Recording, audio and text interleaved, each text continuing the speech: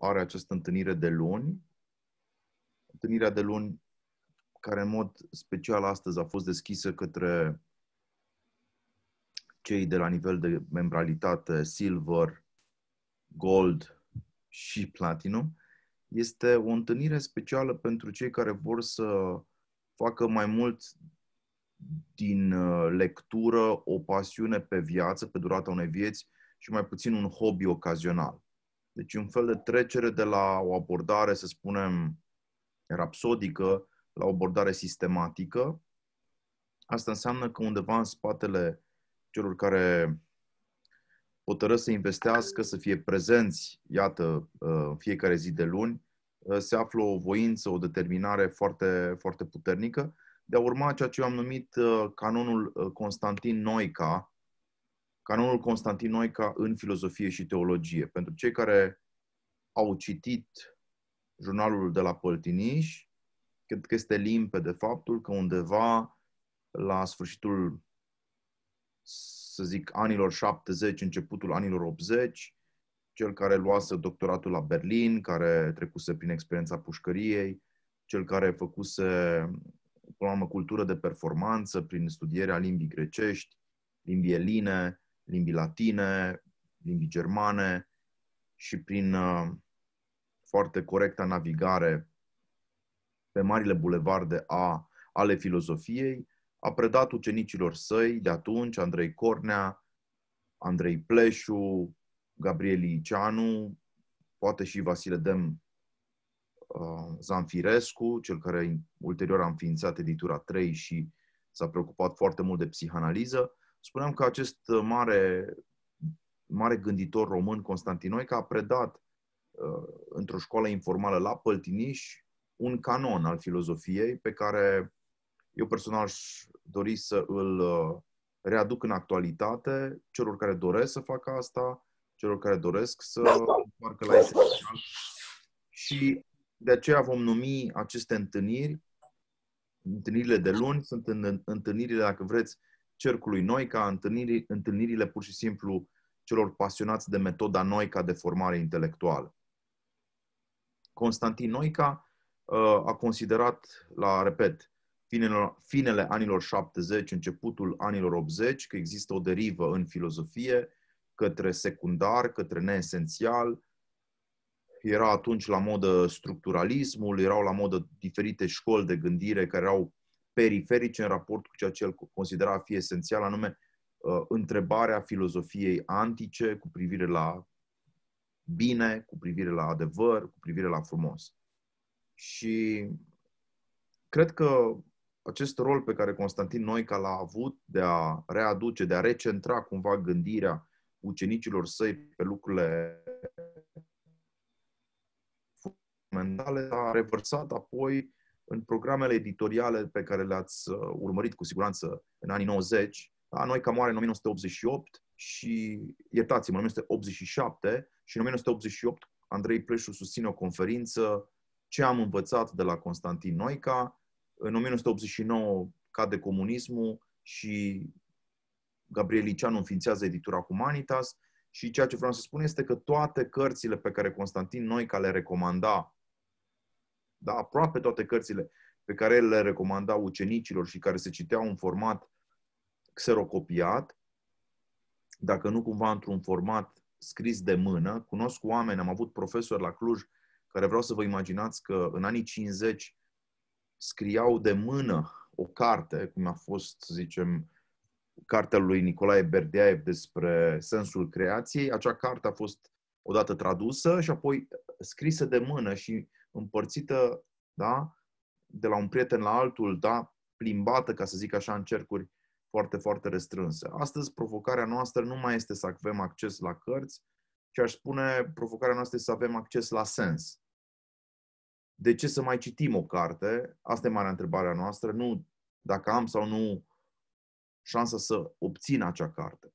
Și deci tema aceasta, oricum marile cărți, este o temă veche, este prezentă în discursul de secol 20 încă de la începutul uh, acestei construcții a programului Committee for Social Thought la Chicago, unde celălalt prieten mare prieten al lui Constantin ca Mircea Eliade, v-am spus, a fost recrutat la mijlocul anilor 50 și unde el descoperă de data asta Eliade uh, un plus de universalitate. Hai să spunem că dacă noi ca păcătuia prin eurocentrism, prin faptul că majoritatea gânditorilor, de pildă pentru noi care erau patru mari filozofi, care contau Platon, uh, Aristotel, Kant și Hegel. Da? Doi erau nemți, doi erau greci, motiv pentru care nu te puteai apropia de Constantinoica dacă nu îți făceai temele să înveți greacă și să înveți, uh, să înveți bineînțeles, germană. Dar pentru Constantin ca să spunem, canonul era eurocentric, era bazat pe istoria gândirii și a civilizației europene, în timp ce pentru Mircea Eliade canonul se universaliza. Adică el integra tradiții spirituale, tradiții religioase chiar uh, de la mari depărtări. Da, trebuia să citești și Mahabharata, trebuia să citești și Patanjali, trebuia să citești, evident, uh, Lao Tzu, trebuia să citești marile texte care fondau niște religii, Coranul, uh, bineînțeles, nu mai vorbim aici de Talmud. Uh, pentru Eliade, preocuparea centrală fiind religiile umanității, canonul ar trebui să se extindă. Pentru noi, ca preocuparea centrală fiind gândirea și exercițiul acesta de reflexie, uh, canonul a trebuit să rămână european, ca să nu se dizolve. Ce încercăm noi aici este să fim mai onești decât uh, decât poate o formulă bombastică ne-ar, ne-ar, ne-ar îndruma să, să, să, să, să facem sau să fim. Și anume, să luăm încet, încet, uh, carte cu carte, din canonul lui Constantin Noica, poate cu uh, niște trimiteri și spre canonul lui Mircea Eliade, uh, acele volume fără de care ei socoteau, marii maestri, repet, români, ai, ai gândirii filozofice și ai gândirii uh, să spunem, sistematice în materie de istoria religiilor, acești doi giganți, Noica și, și Eliade, ne-au obligat să, să gândim formarea unui umanist cu totul altfel decât poate ne-au obligat uh, cei de la propria noastră școală, unde cu siguranță nu am auzit despre obligația morală de a fi inteligent. De ce introduc această noțiune? pentru că revenim puțin la, la The Great Books Program, este un program care astăzi s-a universalizat în America, îl găsiți și la anumite colegii, St. Anne's College sau la Hillsdale's College sau la, uh, cu siguranță la Chicago în continuare. Acest program, spuneam, The Great Books, pe care Eliade l-a îmbrățișat uh, la mijlocul anilor 50, concentrându-se mai mult pe partea de istoria religiilor, de religie, teologie și spiritualitate. Acest program, The Great Books, a fost gândit de rectorul Universității din Chicago, care, de altfel, împreună cu Artimor Adler, a încercat să uh, pună în uh, circulație, deci pentru un public foarte larg, publicul care vreau să vă dau un exemplu, da, un public uh, care în America cel puțin reprezenta clasa de mijloc. Adică un om, ce înseamnă un om care reprezintă clasa de, de mijloc? Un om cu venituri medii, în raport cu produsul intern brut, pe cap de locuitor, să zicem că dacă în România PIB-ul în România uh, cred că este undeva în jur de 9.000 de dolari. Da? Faceți dumneavoastră un calcul să vedeți cam care ar fi uh, un, uh, un uh, om din clasa de mijloc. Probabil că în România un om din clasa de mijloc este un om care câștigă, vorbesc strict de țara noastră, astăzi, în 2021, undeva în jur de 1000 de euro pe lună și care împreună cu partenerul lui de viață, cu soția, cu soțul, da, câștigând un venit decent, își poate permite să-și achiziționeze cărți, să aibă, de ce nu, și o excursie din punct de vedere cultural, da? să aibă o excursie în, într-un spațiu, într-o geografie, cum e Italia, cum este uh, Ierusalimul, cum este, mai știu eu, um, Spania. Pe scurt, pentru oamenii care făceau parte din clasa de mijloc, care în America, vă dați seama, presupune nu 10.000 de dolari, ci 50.000 de dolari astăzi. Deci clasa de mijloc este compusă din oamenii care câștigă între 50.000 de dolari și 100.000 de dolari, uh, peste 200.000 de dolari pe an, probabil că poți să spui că ești, că ești în clasa celor bogați. E bine, pentru această clasă de mijloc, care își putea permite să cumpere un set integral din Enciclopedia Britanică, vorbim aici despre un cost, în, nu știu, cifrat la 1000 de dolari, acești gânditori, Adler și Hutchins, au hotărât să introducă în uh, câteva zeci de volume toate aceste mari cărți despre care noi vorbim. Deci aceste The Great Books, dacă scrieți pe Google, The Great Books, Encyclopedia Britannica, ele sunt acolo. Ele sunt livrate, deci lista o găsiți. Noi vă mai dăm uh, câteodată niște uh, liste și vă mai încurajăm să le parcurgeți, să le să achiziționați, să achiziționați încet încet aceste cărți. Uh, eu consider că dacă vreți să faceți parte deci, din această secție specială a clubului, care este, mă rog, cercul noi, noi ca să zic, atunci, uh, atunci încet, încet veți, veți, veți accesa toate aceste cărți despre care vă, vă vom vorbi la, la, la timpul potrivit și o să aveți o stare de împlinire lăuntrică. Nu toți trebuie să facem filozofie, nu toți trebuie să facem uh, istoria religiilor, dar dacă te consideri un om educat, e important să nu, uh, să nu pierzi din vedere felul în care spiritul european a evoluat. Și când spun asta, haideți să mai fac o mică paranteză, că nu are nicio legătură cu Clausewitz și cu Bonaparte, despre care ne-am propus să discutăm, dar totuși, fiindcă suntem încă la introducere, să zic așa, încă în primele uh, săptămâni de funcționare a clubului, o să vă spun la, la ce mă gândesc eu. Tu când intri într-un muzeu, cine, cine are bucuria asta de a, de a vizita muzee, nu ai cum să nu constați că acel muzeu este segmentat pe epoci. Ce ai antichitatea, da? ai evul mediu, ai renaștere, sau evul mediu târziu, renaștere, ai reforma, ai pictura modernă timpurie, ai modernitatea, să zic așa, clasică de secol XIX, ai arta contemporană, care undeva începe undeva la, nu știu, în anul 1910-1920, contemporanii fiind și cei care, mă rog, având astăzi 100 de ani, uh, s-au născut în acea perioadă. Și când intri într-un muzeu, tu descoperi, de, de pildă, tu descoperi, ca să vă dau un exemplu, o ruptură majoră între arta medievală, unde ai chipuri de sfinți, portrete de figuri biblice, foarte multe, abundente, adesea încadrate într-o uh, într-o aură aproape, așa cum îi spune și numele, nu? Sacrală, iertați-mă, și după ce se consumă epoca medievală, vezi dintr-o dată un shift, da? o mutație radicală și descoperi că pictura renașterii permite nu numai nuditățile da? și, mă rog, dez, dez, dezgolirea corpului, nu e doar o curiozitate de tip anatomic acolo, deși ea există, dar permite o investigare a realității cu alți ochi, pur și simplu cu alți ochi. E, ceea ce eu vreau să spun este că același lucru se întâmplă în istoria filozofiei sau în istoria teologiei sau în istoria gândirii. Fără îți dai seama, da, dintr-o dată, paradigma culturală sub care te așezi îți dictează un set de întrebări, un mod, un mod de a gândi.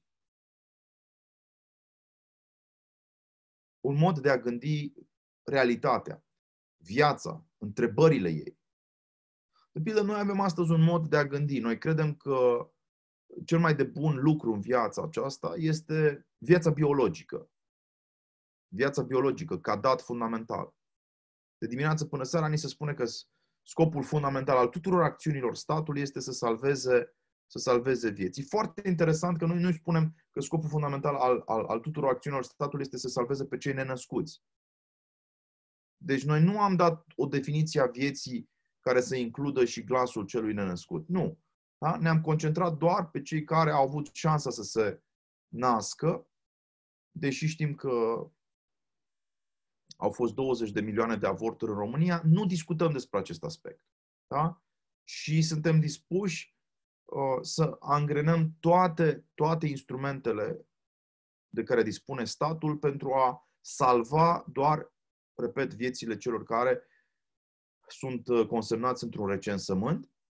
Atenție, vieți definite într-un sens biologic. Aristotel spunea că adevărata viață, deci nu era nevoie să fii creștin pentru a spune lucrul acesta. Aristotel. Deci înainte de a vorbi despre uh, Maxim Mărturisitorul sau nu știu ce alți sfinți ai bisericii, Aristotel spunea că viața bună doar viața bună merită trăită.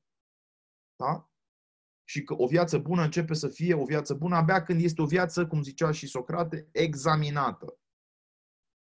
Ei bine, ce încerc eu să spun este că noi examinând propriile noastre vieți, da, putem descoperi că de fapt suntem ghidați în opțiunile noastre de o paradigmă culturală care e deasupra, ă, să zicem, deasupra gândirii noastre, paradigmă culturală, cum ar fi în cazul nostru paradigmă de tip postmodern, care are niște axiome. Ce, ce veți obține dumneavoastră venind în acest uh, cerc noica al uh, Clubului Marilor Cărți? Este capacitatea de detașare, în primul rând istorică. Domnule, da, trăiesc în 2021, dar nu trebuie să, să gândesc neapărat în 2021 exact așa cum, indic, cum indictează mie paradigma culturală. De ce? Pentru că există un alt tip de a gândi umanitatea, viața, sensul existenței, care este modul de gândire, nu știu, al lui Aristotel. Deja lucrul ăsta te eliberează de constrângeri de, de sentimentul acesta de obligație față de epoca în care trăiești. Și în clipa aceea, vă dau un exemplu. Dacă tu valorizezi libertatea mai mult decât, eu știu, securitatea, siguranța, o să interpretezi diferit măsurile politice luate de guvernul X sau Y într-o direcție sau alta. De ce? Dacă tu crezi că libertatea este crucială în definirea unei bune vieți, vorba lui Aristotel, atunci tu vei spune că toate măsurile de constrângere a omului sunt măsuri care violează conștiința și demnitatea. Dacă tu crezi din potrivă că doar securitatea biologică e ceea ce contează, atunci uh, și egalitatea, nu-i așa?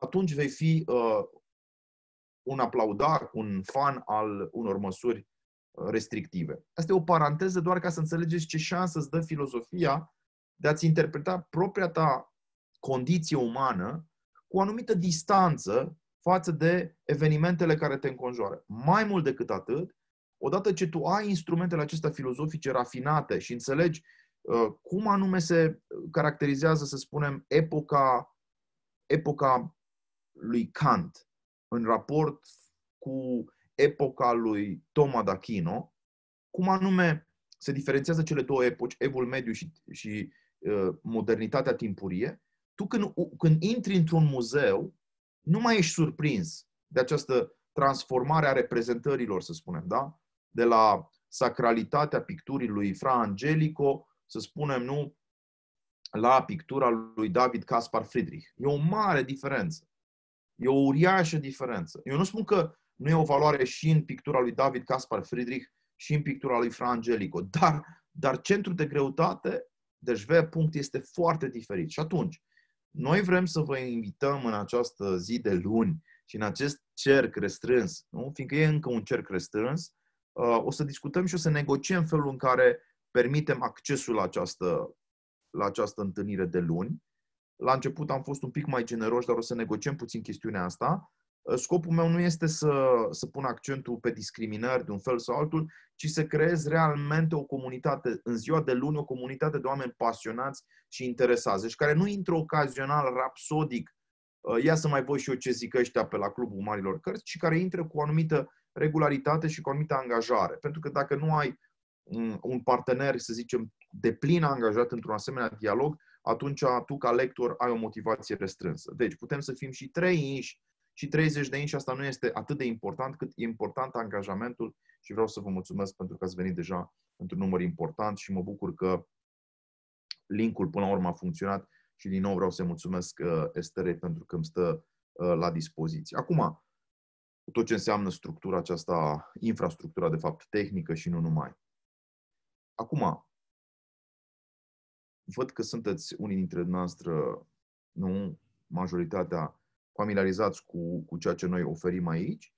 De ce încă o chestiune am spus uh, foarte pe scurt. De ce datoria morală de a fi inteligent? De ce a fi inteligent nu este un accident?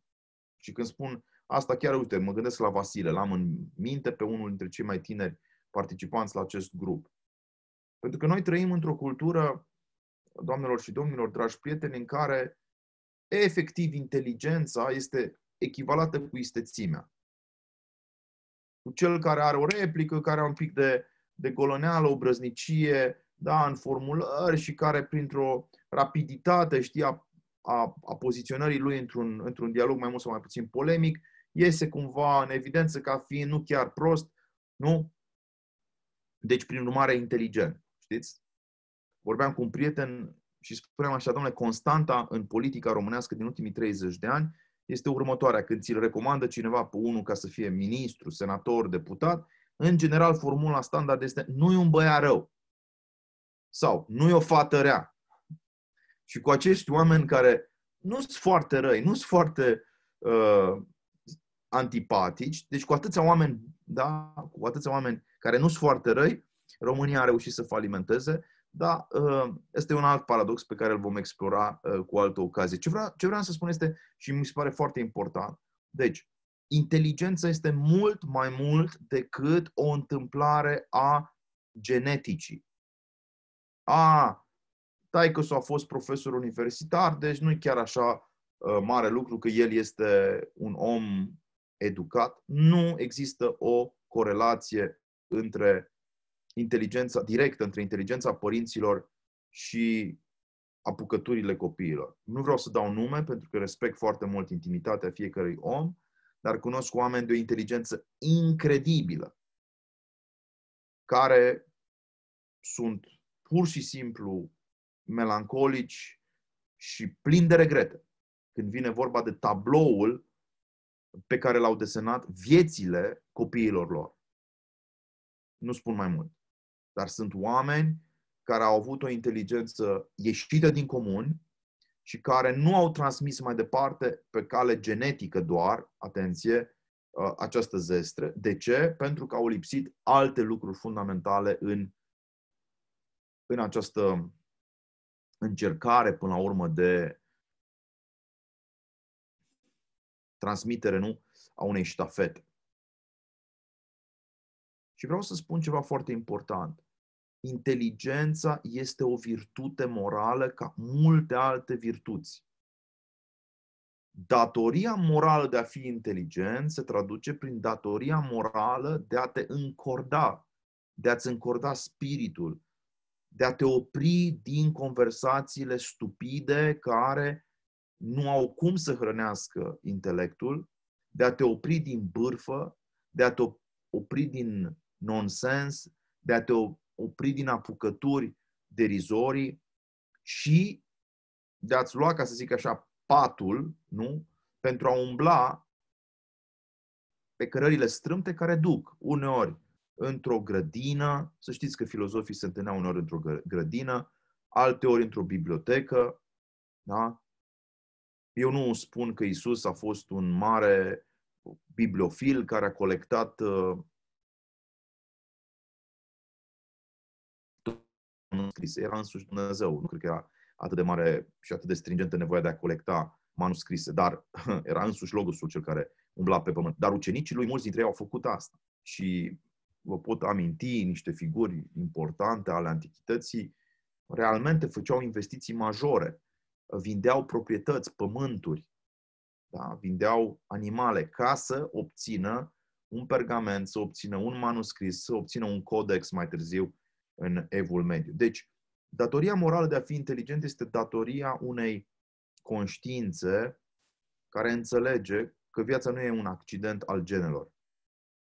Viața este o sumă de alegeri pe care le facem și, prin urmare, cea mai importantă alegere este să încep în fiecare zi o conversație cu cei care sunt mai deștepți decât tine. Una dintre cele mai importante alegeri este pentru un om să aleagă să converseze în fiecare zi, nu din când în când, în fiecare zi, cu cei care îl depășesc, din toate punctele de vedere, ca inteligență, ca bogăție spirituală, desigur, ca putere de lucru, ca putere de muncă, ca putere de concentrare. Când tu ai ales acest tip de conversație cu cei mai înalți, mai înalți ca spirit, Uh, mai adânci, da? ca profunzime spirituală sau duhovnicească decât tine, atunci ești deja pe drumul cel bun. Deci, când am spus datoria morală de a fi inteligent, am parafrazat, atenție, un articol scris undeva în anii 20, în anii 30 în America, care de altfel a și motivat pe rectorul uh, Universității din Chicago să lanseze proiectul Marile Cărți. A fost uh, un articol revoluționar care, într-adevăr, a dus în, în, în prim plan această dimensiune morală a activității intelectuale. Cine crede că ah, a stat prin biblioteci că nu avea altceva de făcut, se înșală. Da? Și omul ăla care a stat în biblioteci putea să meargă pe scurtătură și omul care a ales la 22 de ani să mai aprofundeze încă o temă și să mai stea încă 3 ani de zile la doctorat, a, ar fi putut să aleagă să, să facă bani, să vândă mașini, să, nu știu, cumpere și să vândă geci de fâși. Nu, nu, nu, nu, nu, nu, nu disprețuiesc activitatea comercială, atenție. Nu, absolut deloc. Și nu e o problemă că ai făcut aceste lucruri. Dar să nu creadă ăla care a vândut, nu știu, geci de fâși, că este superior celui care a ales să citească. Asta e foarte important pentru mine să rețin.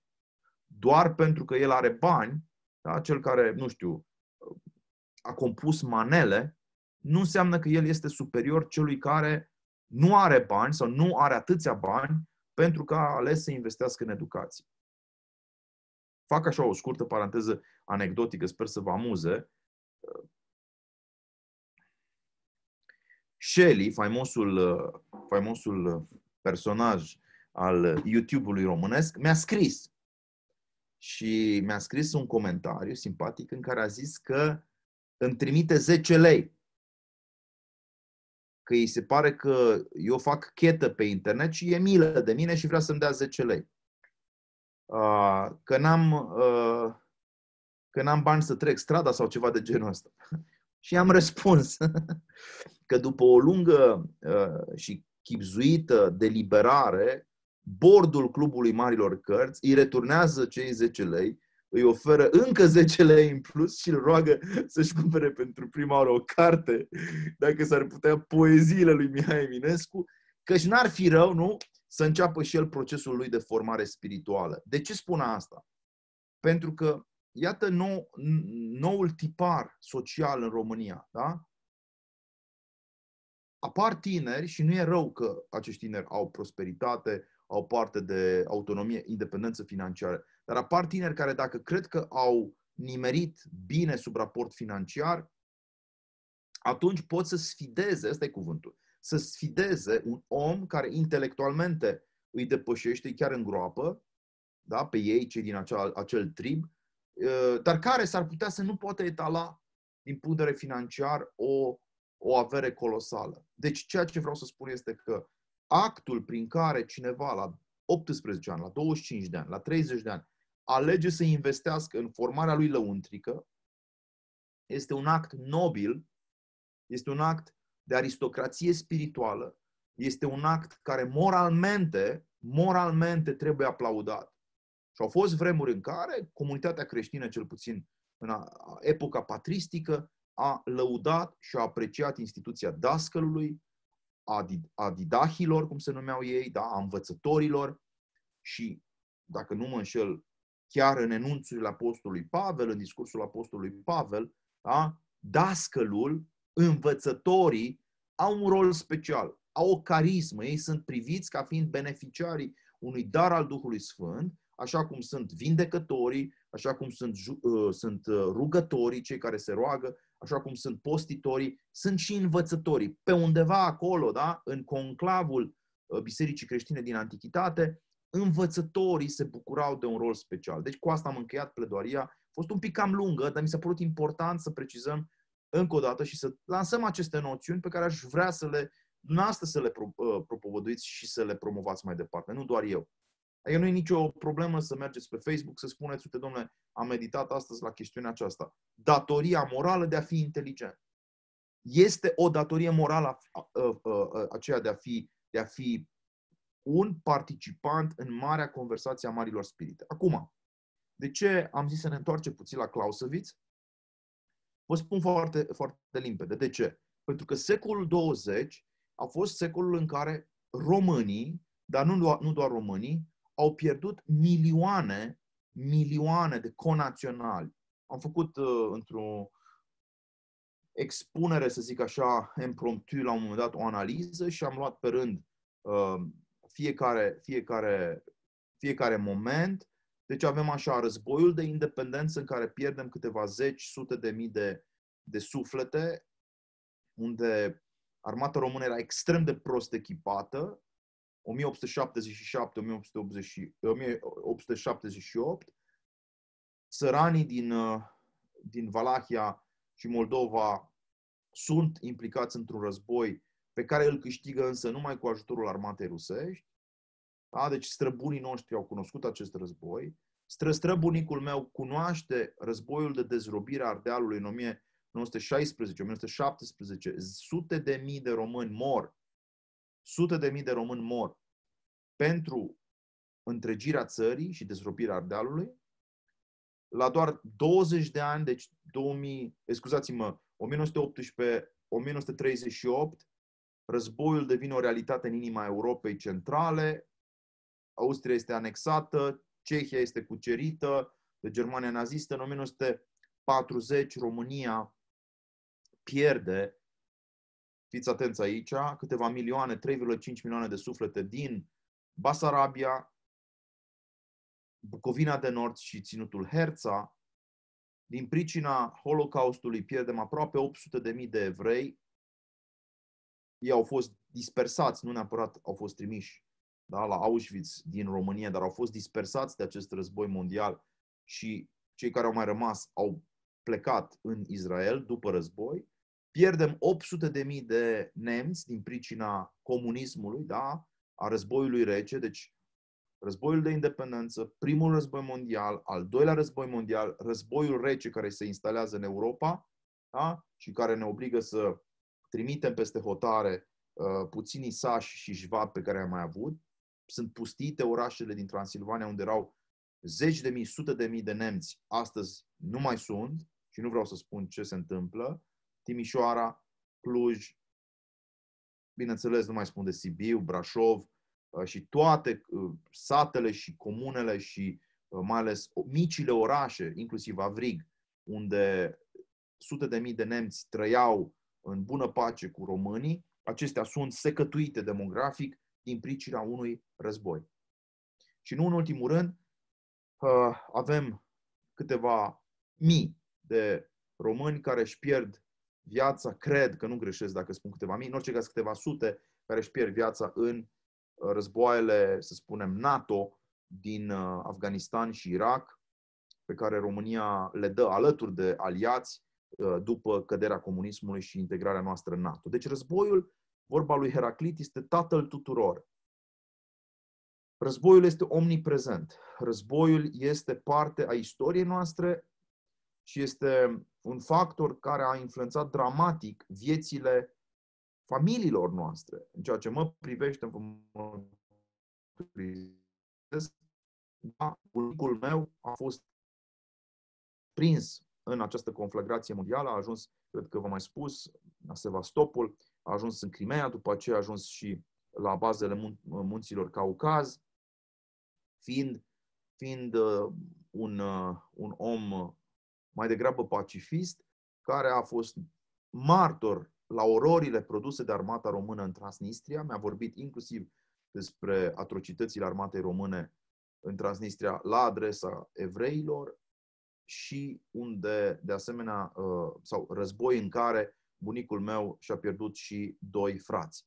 Deci faptul că eu nu am avut doi unchi care au murit prea devreme, la 25 de ani, uh, din pricina războiului, sigur că mă afectează existențial, așa cum și pe dumneavoastră v-au afectat aceste pierderi.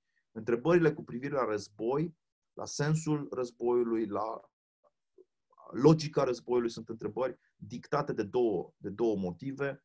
Unu, războiul a distrus, a distrus țările europene ale veacului 20 într-un mod fără, fără precedent. 50 de milioane de suflete au murit în Europa în al doilea război mondial. 10 milioane de suflete au murit în primul război mondial încercăm să înțelegem războiul ca fenomen pe timp de pace, pentru că în, timp, în timpul războiului nimeni nu mai citește uh, strategii sau tratate. și încercăm să înțelegem războiul ca fiind și un fenomen spiritual, că noi suntem, majoritatea dintre noi suntem cei care facem parte din această comunitate creștini, înțelegem că există o dimensiune spirituală a războiului. Există un soi de uh, paralelism între războiul fizic pe care îl dau anumite popoare sau anumite armate și războiul spiritual pe care îl dau creștinii pentru a câștiga libertatea până la urmă în raport cu puterile întunericului. Tema războiului spiritual este veche, este omniprezentă. O găsiți în uh, literatura patristică, o găsiți în literatura uh, pietiștilor americani, o găsiți în literatura, de ce nu, uh, cred că o găsim și în literatura de tip protestant, luteran, o găsim la Ignațiu de Loyola, o găsim deci în literatura unui, unui mare misionar catolic, dar o găsim și la Nicodim Aghioritu, un călugăr din, din Muntele Atos, care a și scris de altfel cartea faimoasă tipărită la noi, tradusă și tipărită la noi sub titlul Războiul nevăzut. Iar apoi toată literatura filocalică și toată literatura duhovnicească, da, de dată recentă, include aceste noțiuni de război, războiul nevăzut, sufletul ca fiind tărâmul, da, terenul unde se confruntă două forțe, forța binelui și forța răului și când vom ajunge la C.S. Lewis o să, o să discutăm și despre ce înseamnă aventurile, aventurile câte, câte unui drăcușor în, în spațiul intimității noastre, instruit așa de la distanță de câte un bătrân uh, drac care, care are experiență și știe cum să încurce cărările unui, unui creștin.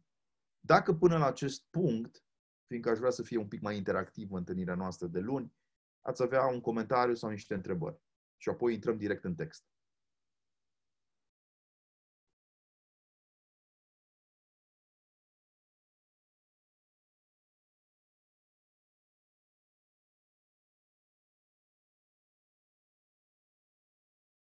Dacă nu sunt întrebări, atunci o să intrăm direct în text. Așa cum știți, obișnuiesc să folosesc această tehnică a lecturii textului fără intermedieri, fără introduceri.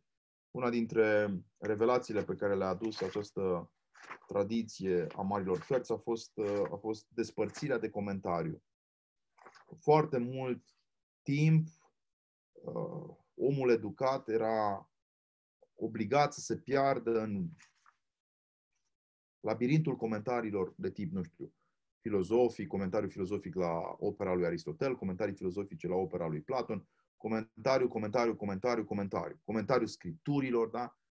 Și la un moment dat prospețimea a venit din această revelație. Domnule, n-ar fi mai bine să citim chiar Scriptura în loc să citim comentariul la Sfânta Scriptură? N-ar fi mai bine să citim Platon în loc să citim comentariul uh, lui Plotin la Platon sau comentariul lui Porfir la Plotin, care la rândul lui îl comentează pe Platon. Deci tensiunea între secundar și principal între esență și accident este o tensiune pe care aș vrea să o,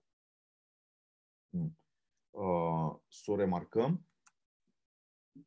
Aș vrea înainte de a citi, totuși, și pentru a vă arunca așa în, într-o dilemă de ordine hmm, de ordin moral, ce ați fi făcut voi în locul lui în, în locul lui Napoleon, pentru că acest autor a fost marcat, Carl von Clausewitz, de statura gigantescă a lui Napoleon Bonaparte, aș fi vrut să vă prezint în uh, câteva minute povestea ascensiunii brutale, rapide, a lui, uh, a lui Napoleon din, de la statutul de simplu locotenent la statutul de general.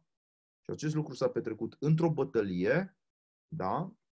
Uh, repet, fac, acest, uh, fac, fac această digresiune pentru că Clausewitz a fost profund marcat de, de figura lui Napoleon. L-a citit, l-a studiat pe Napoleon. Napoleon și scria, atenție, deci nu doar era un om al faptelor. Și aș vrea să o rog pe, pe Estera, dacă e pregătită, să ne facă acel share screen, să urmărim preț de câteva minute bătălia de la Toulon care l-a făcut pe uh, marele Napoleon să fie mai târziu, să devină să devină împărat. Se aude? Să dai drumul la sunet înainte? Și să vedem. Și apoi full screen dacă se poate. Eu nu aud.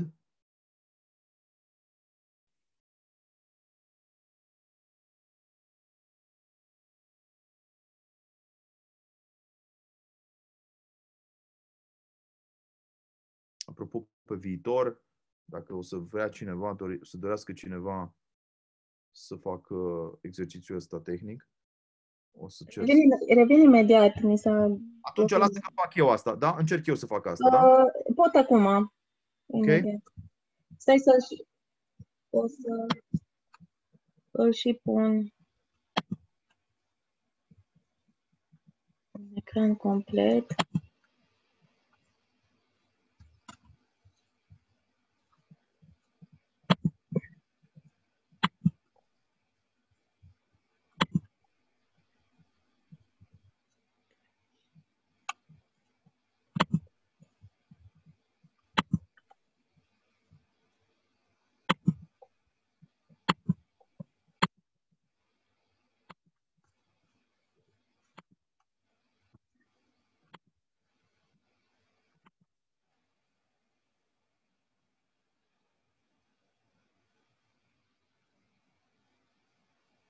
Uh, Estela, te rog, lasă-mă pe mine, te rog. Ok. Eu nu aud sunet. Voi auziți sunet? Dar mine se auzea. Eu nu aud. Nici la noi nu se auzea. Poate aveți o opțiune care să vă, să vă zică să faceți share la desktop cu tot sonor? Mă ocup eu, mă ocup Da, eu. în regulă.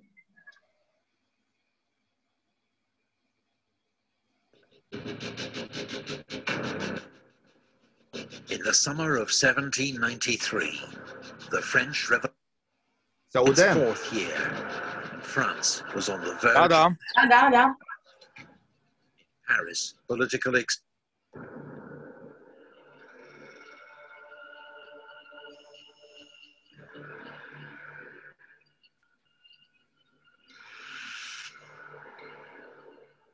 The great port of Toulon was well defended by city walls a dozen outlying forts and redoubts. They were held by 2,000 British soldiers and sailors, 6,000 Spanish troops, 6,000 Neapolitans, and 800 Sardinians. Artillery would be the key to overcoming these formidable defences. But when Bonaparte was put in command of the artillery on the 16th of September, he found himself with few cannon, not enough trained gun crews, and a shortage of gunpowder and shot. With relentless energy and determination, Bonaparte transformed the situation, requisitioning unused guns, training infantrymen to work them, setting up a new forge and workshop from Marseille of 100,000 sandbags for constructing new batteries. Through hard work, he was ultimately able to build his force up to 64 officers and 1,500 men, manning 100 cannon, howitzers, and mortars. Within days, Bonaparte had established two new forward batteries with good revolutionary names La Montagne and Sans Culottes, which brought Toulon's inner harbour within range and forced Admiral Hood to move all his ships closer to the port. Bonaparte also came up with a plan, one that would allow the French to bypass most of Toulon's defences and secure the rapid victory the Republic so desperately needed. Bonaparte argued that if Fort Legillette could be captured, which looked out across the harbour, he could fill it with heavy guns and shell the British and Spanish fleet at anchor. Admiral Hood would be forced to abandon the port and take with him the Allied soldiers that Toulon relied on for its defence. General Carteau saw the merits of Bonaparte's plan, and on the 22nd of September, French forces attacked Montcaire. But to Bonaparte's exasperation, while he'd argued for an attack by 3,000 men, the indecisive Carteau committed only 400. Not only was the attack easily repulsed, but it alerted the Allies to the danger. Within 48 hours, they'd reinforced Montcaire with thousands more troops and built a new fort named Fort Mulgrave, bristling with 20 cannon. The position was now so strong, the French nicknamed it Little Gibraltar.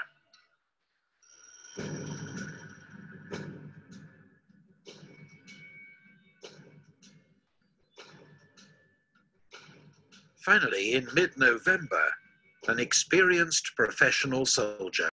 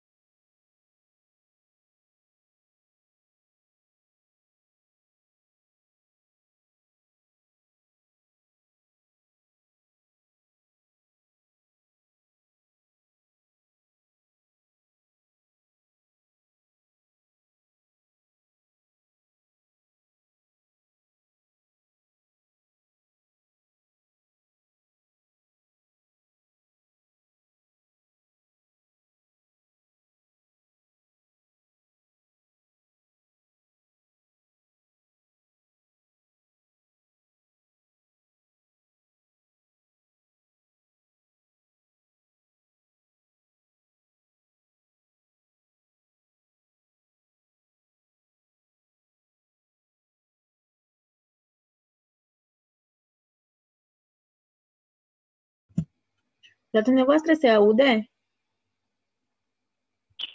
Nu, noroc cu, noroc cu subtitrarea.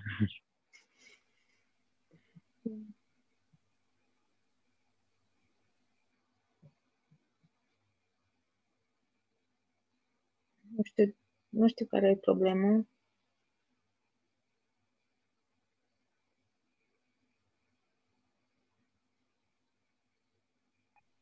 Probabil pentru că e microfonul tăiat, dar Mihai nu se mai captează. Da, e Nu odios. știu. Bine, Nu, nu, scuzați-mă, am pus pe mut la mine crezând că în felul ăsta merge sunetul paralel și când am pus pe mut la mine ca să nu mă auziți pe mine, uh, s-a încheiat și uh, video. Uh, Scuze, uh, re- reluăm foarte puțin, doar, uh, doar partea de audio cred că v-a lipsit. Haideți că, haideți că se încheie imediat uh, documentul video, da? Cred că o să auziți acum, da? of independence. Now he got to surrender to Napoleon Bonaparte.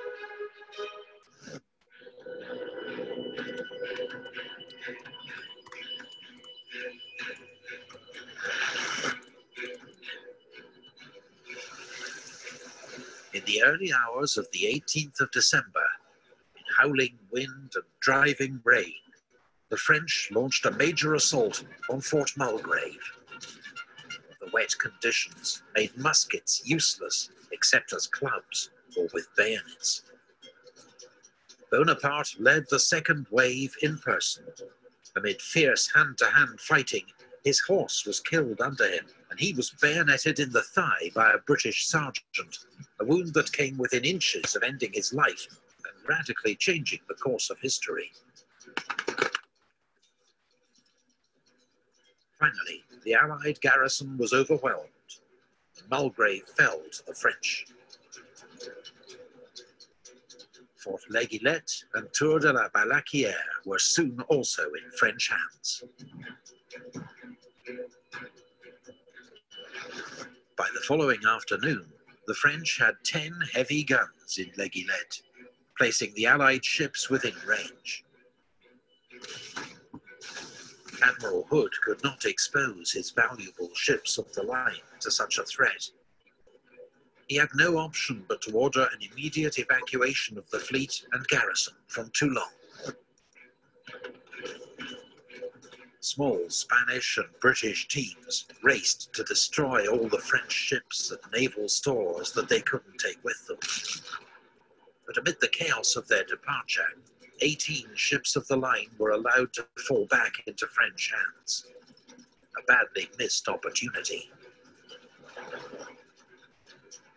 Many French citizens of Toulon were desperate to escape aboard the Allied ships, knowing that the Republicans would inflict terrible reprisals on the city. British and Spanish ships took as many as they could, about 14,000 in all, but scores were drowned amid chaotic and desperate scenes. Others were left to face the wrath of the revolution.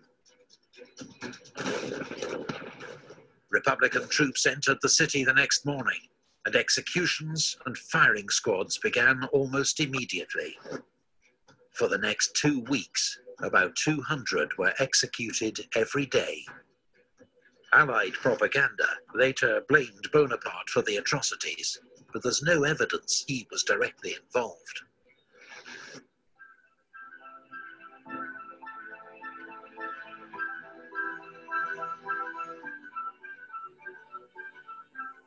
Bun, deci ați înțeles. Eu las un pic partea de, de video în desfășurare. Partea audio sper că o pot controla. Vă rog să-mi confirmați. Ne auzim, da? Da. Perfect. Uh, Îmi cer iertare pentru micile inconveniente tehnice. O să le lămurim noi încet, încet și o să facem și partea asta mai, uh, mai atractivă. Dar haideți să vedem puțin rapid de ce e important. Napoleon nu ar fi ajuns împăratul Franței fără această reușită. De altfel, dumneavoastră trebuie să înțelegeți că micile victorii la începutul carierei dumneavoastră setează premisele unor mari victorii mai târziu. Deci, enunțul filozofic pe care aș vrea să-l rețineți este legat de război. Sunteți prinși la 20 de ani, la 25 de ani, la 30 de ani în niște bătălii, poate chiar la 15 ani, care vor, atenție, contura destinul dumneavoastră în următorii 20 de ani. Nu doar pentru că o bătălie câștigată la 20 de ani îți aduce recunoaștere, ceea ce s-a întâmplat cu Napoleon, ci pentru că îți aduce o abilitate, îți aduce o cunoaștere a artei războiului pe care, dacă tu nu dai acea bătălie, nu, n-ai cum să o înțelegi. De asta nu vreau să disprețuiesc oamenii care nu și-au terminat, nu știu, școala la timp, dar este foarte greu pentru cel care nu și-a terminat școala sau n-a făcut școală să înțeleagă niște procese și fenomene care presupun nu doar instinctul, ci și activarea intelectului. Revenim puțin la Napoleon, vă rog să vă uitați un pic la situație. Deci îl avem pe Napoleon chemat să rezolve o problemă mare de tot. Problema este simplă. Da?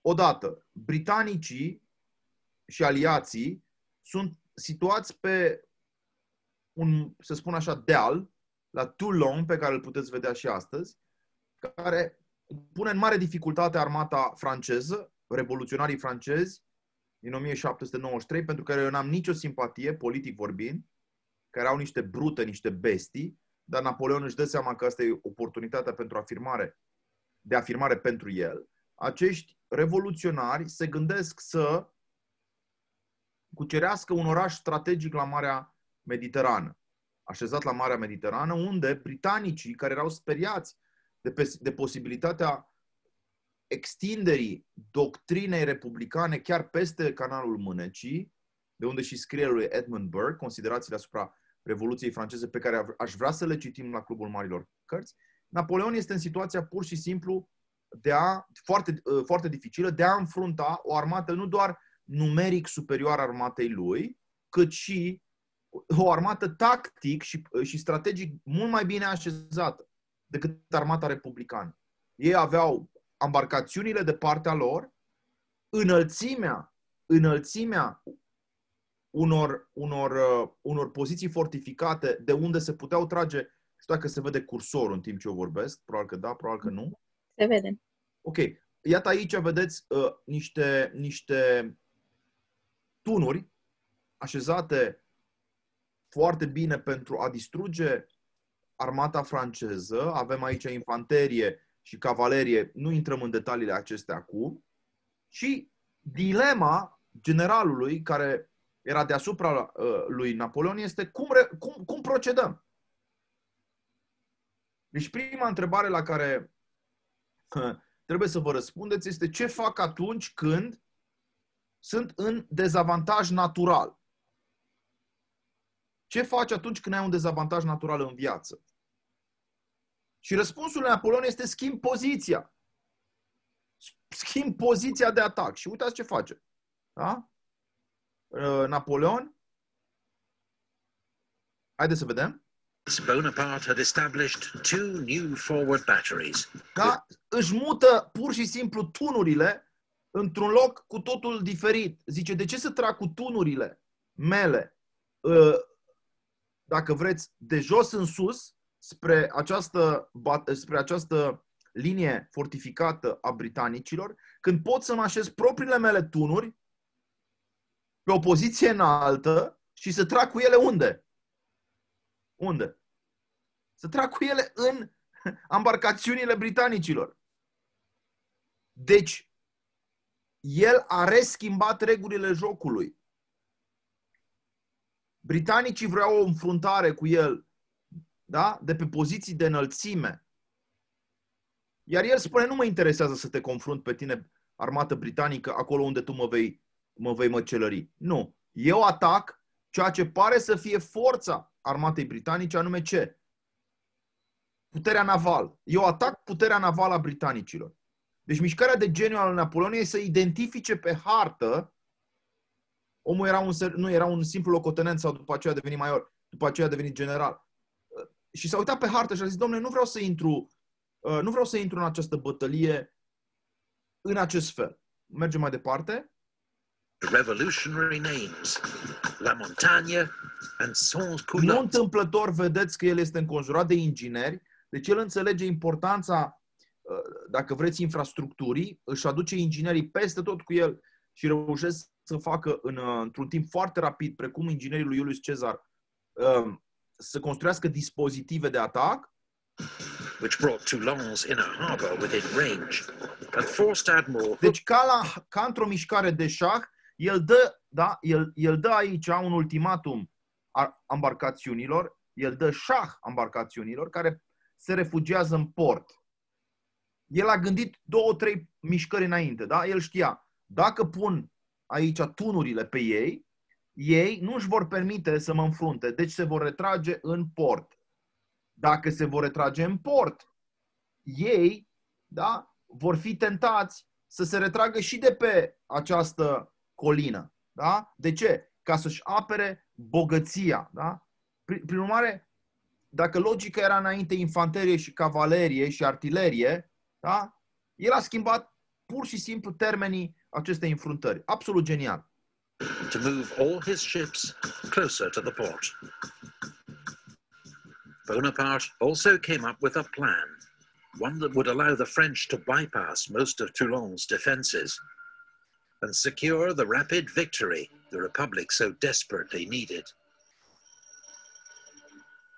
Bonaparte argued that if Fort Legillette could be captured, which looked out across the harbour, he could fill it with heavy guns and shell the British and Spanish fleet at anchor. Deci mai, mai, mai mult, tupeul lui Napoleon nu are limite. El zice, vreau să cuceresc această mică fortăreață pentru ca de aici să, să lovesc, deci el a gândit trei pași înainte, să lovesc aceste embarcațiuni. Da? Uh, practic să-l pună, să, să, să pună armata britanică într-o poziție defensivă. Incredibil. Ceea ce uh, îi iese, da, trecem repede peste momentul în care el construiește acest uh, proiect, avem, atenție, avem partea de branding, da? Cum, cum, cum s-a numit, dacă ați reținut, da? Cum s-a numit uh, a- această brigadă de soldați, da? le soldat sans peur, da? fără frică. Deci, pe vremea aia, în 1793, nu prea se vorbea de branding, dar Napoleon știe că e foarte important cum formulezi în mintea soldaților tăi, tu trebuie să dai o definiție a acțiunii. Da? Este acțiunea eroilor, a celor bravi, a celor sans peur, a celor fără frică. Și se uh, implică direct, Napoleon îl vedeți aici da? cu portretul lui la tinerețe, se implică direct în lupta împotriva uh, fortăreței britanice, ok, o câștigă, o câștigă, deși inițial, foarte interesant, generalul și cei care erau în, în vârstă și mai puțin încrezători în imaginația acestui, acestui lider, care avea 24 de ani, deci vreau să vă imaginați, Bonaparte avea 24 de ani, ei inițial au spus că nu putem să-ți dăm mai mult de 600 de soldați pentru a ataca dita mai fortăreața, după aia își dau seama că a avut dreptate, îi alocă resursele suficiente pentru, uh, da, la baterii de zom sompeur, nu se le soldați, ci le de zom, uh, foarte bine, uh, câștigă da, bătălia, mulți, foarte mulți voluntari care vor să, să fie denumiți uh, les hommes sans peur. Aici uh, Bonaparte este el însuși, nu cum spune povestea, Mircea însuși mână în luptă, vijelia îngrozitoare, nu? Aici e Napoleon însuși mână în luptă, vijelia îngrozitoare și îi bate pe britanici, britanicii aliații se retrag, uh, unul dintre generalii care este, este împușcat generalul O'Hara a fost, uh, a fost implicat și în războiul împotriva celor 13 colonii și uh, the rest is history, pentru că după ce câștigă acest, acest punct strategic, da, Napoleon, da, vedeți foarte bine, după ce câștigă acest punct strategic, este extrem de simplu să arunce primele uh, ghiulele către armata, către forțele navale și în felul acesta să le oblige pe acestea să ce? Să părăsească portul. Ăștia de disperare, uita, uitați-vă și, și dumneavoastră, ard case, tot ce aveau acolo, ca, ca nu cumva Napoleon să pună mâna și pe resurse. Deci întotdeauna într-un război foarte important accesul la resurse, de la haine, mâncare, tot ce era acolo în port. Vă dați seama, un port, gândiți-vă și la portul Constanței, un port în general, întotdeauna un port e foarte bogat. Într-un port găsești cam de toate. Pentru că natura comercială, nu activităților economice din import, presupune exact acest lucru, nu uh, depozitarea de bunuri și așa mai departe. Ei, în schimb, britanicii vor să ardă tot ce există și în felul acesta uh, ard chiar și unele embarcațiuni. Vă dați seama ce disperare pe ei și Napoleon nu iartă absolut deloc, coboară în port și ia ceea ce are de luat și cu asta uh, povestea, vă dați seama, se scrie clar uh, net în favoarea lui uh, acestui, acestui major, care după aia devine, este imediat, imediat numit general și în felul acesta uh, ridicat în grad și nu numai atât consacrat ca lider al armatei franceze. 1793, mișcarea de geniu a lui Napoleon, 24 de ani. Acum, asta ne pune în, în situația de a citi primele pagini din Clausewitz despre război. Apropo, războiul este întotdeauna, spune Clausewitz, fie despre atac, fie despre apărare. Deci două mișcări, două mișcări trebuie pregătite întotdeauna într-un război. Când te duci la un examen, să spunem, sau când te duci la o emisiune de televiziune, sau când te duci la o dezbatere, sau când te duci la o negociere cu uh, partenerul tău de business, tu trebuie să ai și partea de atac și partea de apărare foarte bine pregătită. Partea de atac este cea în care omul din fața ta îți găsește vulnerabilitățile. El simte că uh, poate nu ești atât de pregătit în aspectul, nu știu, de logistică de livrare la timp a, mărf, uh, a mărfurilor pe care, îi le spui că, pe care spui că vrei să le aduci. Poate el simte că nu ești atât de pregătit pe un calup, să spunem, de, de competență pe care o revendici. Și el te va ataca ca să tragă prețul de pildă în jos al unui contract, el o să te atace acolo unde el simte că tu ești prost pregătit. Da? Să zicem, te duci la un interviu, interviul are loc în limba engleză, engleza ta nu este perfectă și pentru că el să-ți dea un salariu mai mic, o să spună o întrebare cu folosi niște cuvinte grele în engleză și tu o să te pui într-o situație proastă spunându-i, a, puteți repeta cuvântul respectiv? Și tu deja ți-ai scăzut nivelul în timpul negocierii cu el, deja el, el, el are the upper hand, cum spune englezul, da? Deci e foarte important, e foarte important să fii impecabil atât pe apărare cât și pe atac. Într-un act care poate să fie nu uh, un act de tip războinic, perceput ca atare, înțeles ca atare, chiar dacă războiul se dă adesea, nu e un război psihologic, se dă cu arme, se dă cu armele cuvintelor. De cele mai multe ori astăzi așa se dau războaiele, cu armele cuvintelor. Ok. Acum, ce ne învață Clausewitz și de ce citim Clausewitz, de ce îl urmărim pe Napoleon și de ce îl citim pe Clausewitz? Pentru ca să învățăm de la maestri, da? Clausewitz ne învață că războiul în sensul literal, deci atenție, vedeți că eu tot timpul dau o tâlcuire a războiului din perspectivă filozofică, cu aplicare în viața de business, în viața personală, în viața de profesională a fiecăruia. Războiul însă în sensul adevărat este un război, ne zice el, care reprezintă voința politică a unui organism foarte viu. În cazul acesta ați văzut, uh, republicanii câștigaseră împotriva monarhiștilor în Franța, îl decapitaseră, deci Revoluția are loc în 1700 cât, Vasile?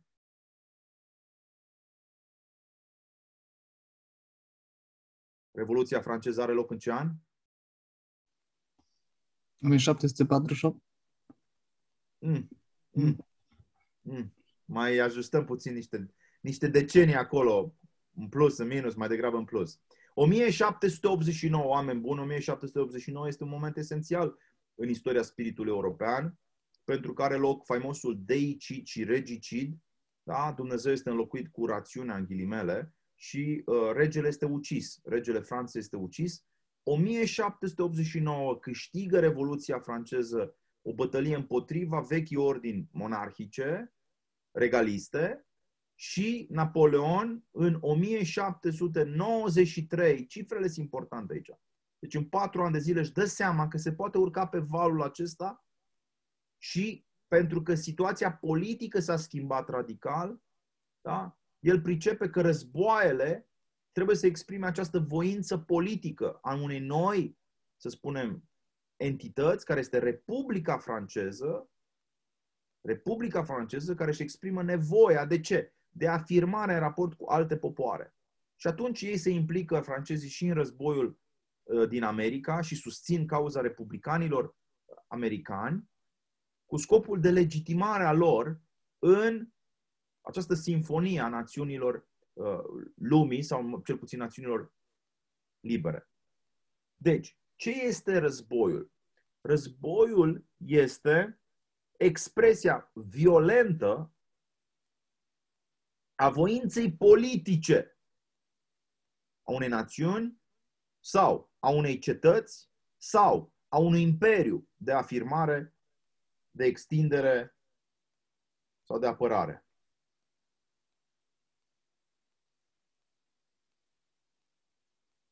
În acest război, spune Clausewitz, în sens, în sens politic și în sens total, nu există limite privind utilizarea tuturor instrumentelor.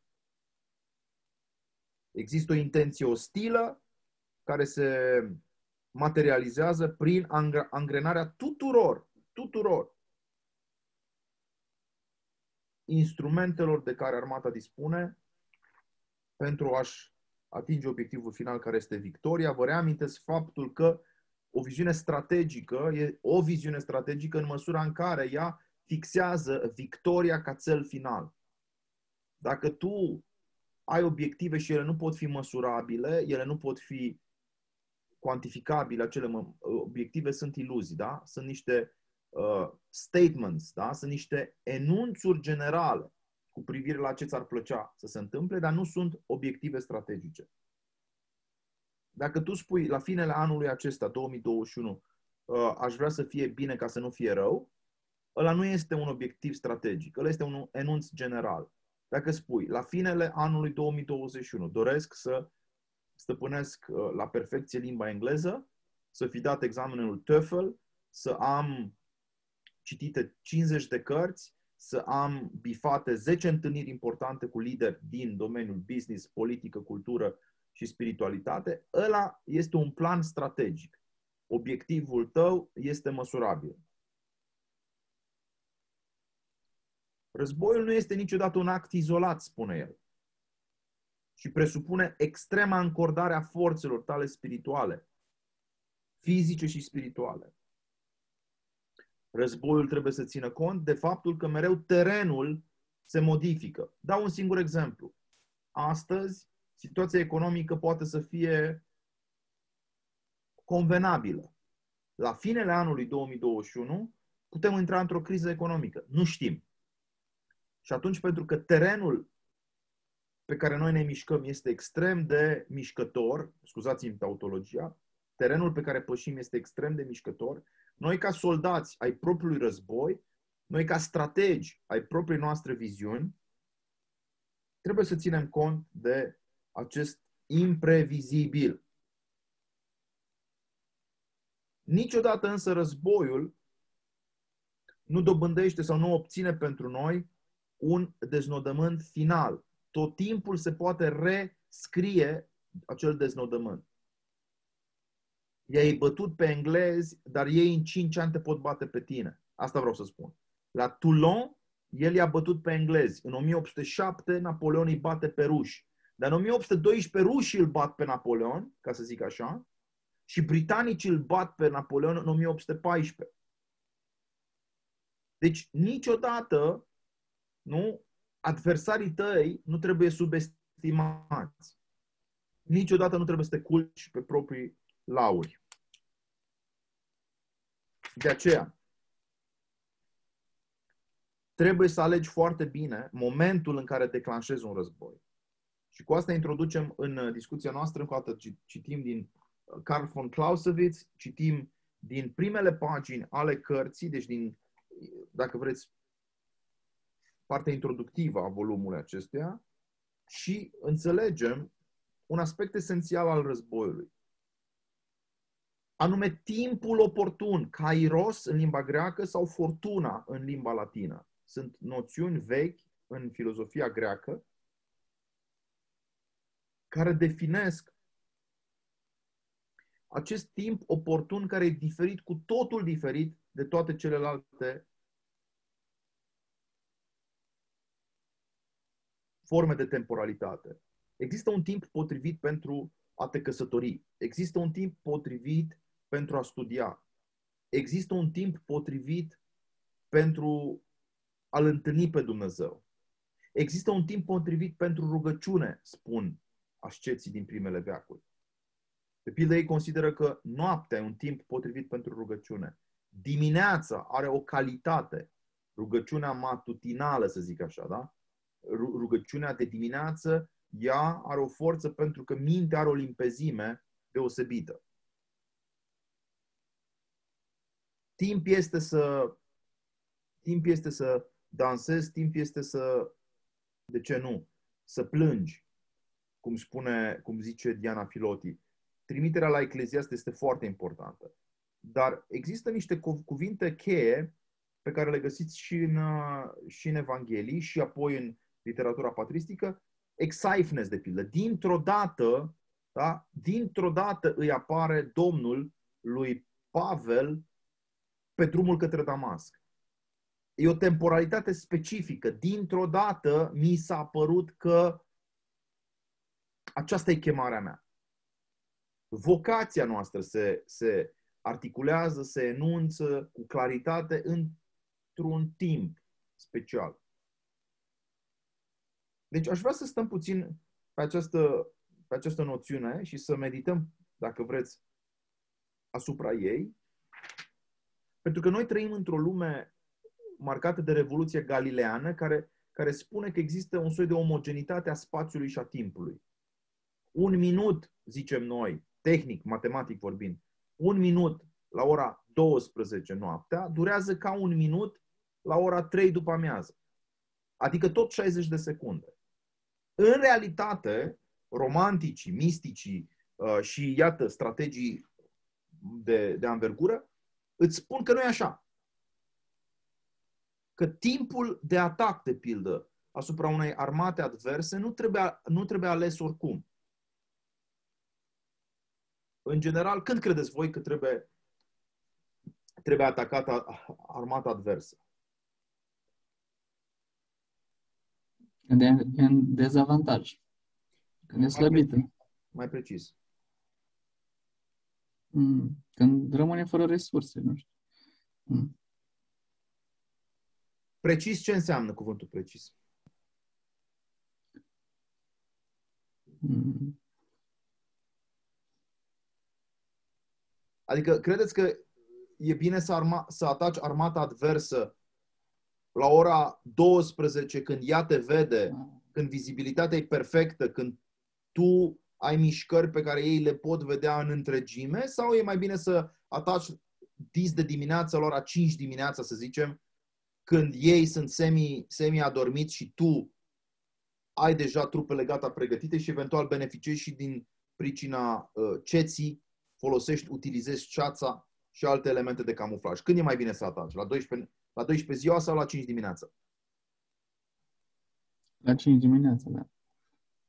Da, așa este. Da. Numai că acum eu mă joc puțin și vă zic, Da. dar dacă la ora 5 dimineața, eu când atac, descoper că acolo, pe terenul adversarului, este foarte multă umiditate și bombele pe care vreau să îi le trimit nu explodează, eu pot să aleg și ora 12 pentru un atac specific. Dar vreau doar să subliniez faptul că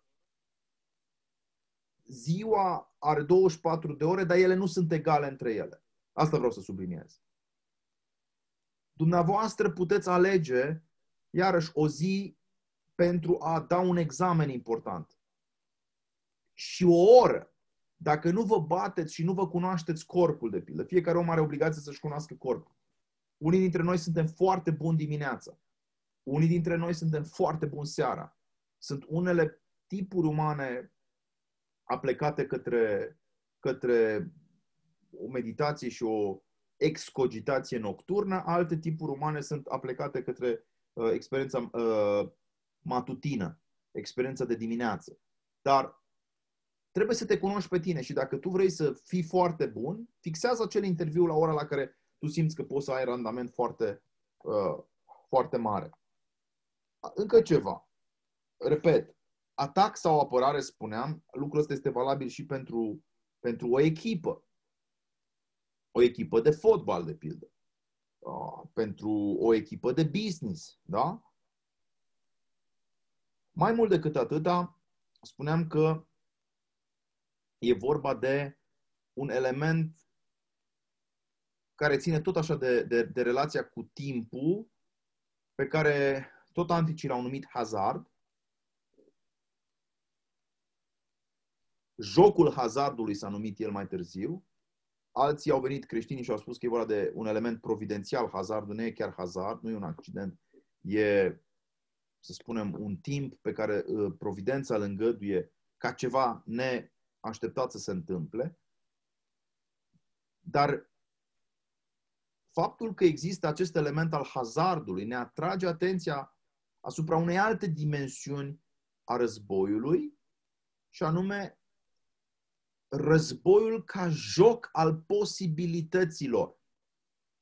Deci vreau să stăm puțin și pe acest cuvânt. Nu întâmplător uh, aici, nu aici, uh, nu întâmplător aici, Clausewitz introduce atât noțiunea de timp oportun, cât și noțiunea de joc al posibilităților sau al probabilităților. De la posibilitate la probabilitate nu e decât un pas. Și jocul acesta, vreau să observați, că ne fascinează pe noi chiar în timpuri de pace. Când vorbim de evenimente sportive, ne uităm cu atenție la, la înfruntarea, la încleștarea între diferite echipe de fotbal, de handbal, de baseball, dacă sunteți în America. Jocul ne fascinează. Ne fascinează, pur și simplu. Ne fascinează jocul politic din Parlament. Toată lumea urmărește cu atenție ce a zis X și ce a zis Y și cum va face mutarea partidul de guvernământ și partidul din opoziție ce va face. E un joc care pur și simplu ne, fan- ne, ne, ne fascinează. Acum să vă fac o mărturisire. Din punctul meu de vedere, un om care citește inclusiv presă și se uită la acest joc politic, el dobândește o, o, o prezență, o stare de, de conștiență, ca să zic așa, în raport cu fenomenele ample din jurul său. Un om care nu se uită la jocurile de tip militar, sportiv sau politic, în general are un handicap să înțeleagă această complexitate. Adică prima mișcare, a doua mișcare și a treia mișcare nu mai sunt așa de ușor de anticipat dacă tu nu te-ai jucat în viața ta șah, dacă nu niciodată n-ai jucat un joc de strategie, poate chiar și pe calculator, dacă niciodată nu te-ai uitat la un episod politic intens, da? creșterea și descreșterea unei mari figuri politice, dacă n-ai analizat pur și simplu jocul, este foarte, foarte puțin probabil ca tu să fii tu însuți un bun jucător.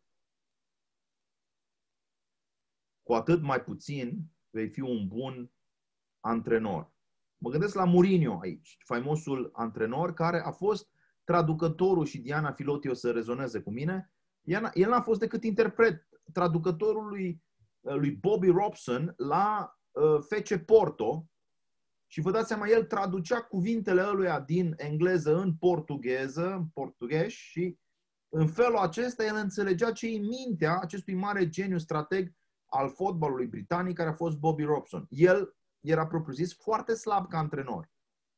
Dar asistând mereu la jocurile minții, vă rog să notați această formulă a lui Ioan Petru Culianu, jocurile min, min, minții, a devenit un, un, un maestru, un stăpân al posibilităților. Pentru că, până la urmă, Napoleon este un mare, mare strateg, fiindcă el găsește posibilitatea, o breșă în suma foarte, foarte restrânsă de posibilități schițate de generalii lui. El spune, nu, nu, nu, nici asta, nici asta, nici asta, mai e încă o a, a treia sau a patra sau a cincea cale. Asta e geniul unui mare strateg. Asta e obligația dumneavoastră dacă vreți să, să fiți buni în ceea ce faceți. Să gândiți posibilități pe care alții le consideră da, implauzibile sau chiar de negândit. Posibilități de atingere a unui obiectiv, asta vreau să spun această fantastică putere de imaginație este stârnită de plăcerea cu care omul plonjează în necunoscut. Și aici este un pasaj la mereu la marginea unei cărți. Zice așa. Dați-mi voie să dau citire și apoi ne apropiem de final. Deși rațiunea noastră se simte întotdeauna împinsă spre claritate și certitudine, imperativului Descartes, uh, suntem în epoca lui Kant, da? Claritatea, idei clare și distincte, claritatea ca imperativ al inteligenței. Spiritul nostru, totuși, și aici vorbește Clausewitz contemporan cu, cine să vă spun? Cu Shelley, de pildă, dar nu cu Shelley ăsta al nostru, cu poetul, da? Romantic, contemporan cu, aș spune, Hölderlin, contemporan cu Novalis, cel care a compus acele imne ale nopții sau imnuri ale nopții. Spiritul nostru se simte atras adesea de incertitudine. În loc să se străcoare împreună cu rațiunea pe poteca îngustă a cercetării filozofice și a concluziilor logice, pentru a ajunge abia conștient de sine în spații unde se simte străin și unde toate obiectele ce îi sunt cunoscute par să-l părăsească, spiritul preferă să poposească împreună cu imaginația în împărăția întâmplătorului și a norocului. În locul acelei meschine necesități, adică în locul unor dictate ale rațiunii pure, kantian vorbind, în locul previzibilului, spiritul huzurește în bogăția posibilităților și entuziasmat de acestea, curajul se înaripează și astfel Cutezanța și pericolul devin elementul în care se aruncă ca, înăto- ca, înot- ca înotătorul curajos în fluviu. Mie mi se pare un paragraf genial care descrie tot ce a făcut Napoleon. Este motivul pentru care v-am arătat operațiunea lui, lui Napoleon la Toulon. vă, vă recomand să vă uitați la acest Epic TV series, Epic History TV, să vă uitați cam la toate războaiele uh, napoleoniene, să, vede, să vedeți ce bătălie a mai dat Napoleon în fiecare moment al carierei sale, dar în orice caz, gândiți-vă la ceea ce spune el aici. Există o fascinație pe care o, o, o, o exercită asupra spiritului nostru bogăția posibilităților.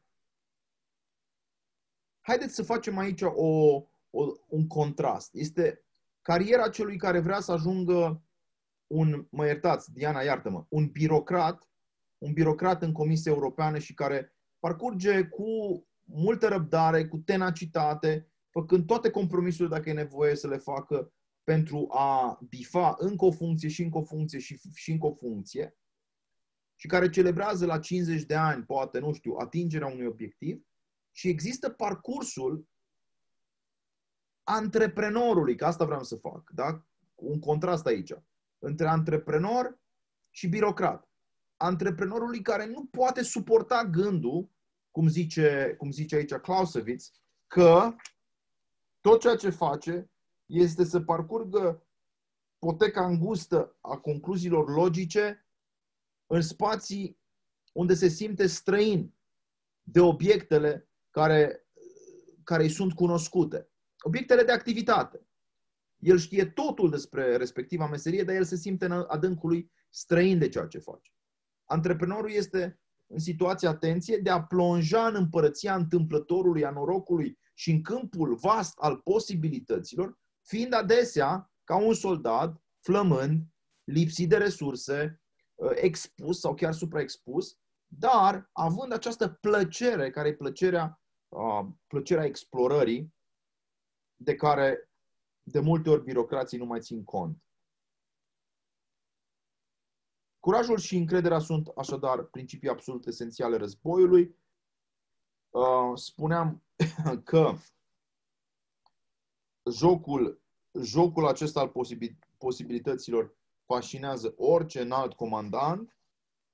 Prețul pe care însă îl plătește adesea pentru aventură este foarte mare. Uh, Napoleon însuși a fost rănit în bătălia de la Toulon, iar cred că Ștefan cel Mare se spune despre el că a avut, nu știu, 30 de răni sau ceva de genul ăsta. Adică oamenii care își asumă, care își asumă această bătălie adesea în, în spațiul uh, imprevizibil al posibilităților, decontează foarte scump uh, un asemenea tip de experiență. Scopul și mijloacele în război, capitolul 2 al acestei cărți, foarte, foarte rapid, el vorbește despre prețul pe care trebuie să fii pregătit să-l plătești. El vorbește despre mijloacele cu care întotdeauna orice războinic trebuie să știe că intră în luptă și acestea presupun, de fapt, un singur mijloc care este lupta. Un pasaj extraordinar pe care aș vrea să vi-l citez despre ce face și ce nu face un soldat. Uh, este, este clar că acest Clausewitz, el însuși a, a trăit cu emoție condiția aceasta soldățească, pentru că la 13 ani s-a înrolat în armata prusacă și cred că lucrul acesta ar fi fost astăzi considerat imposibil.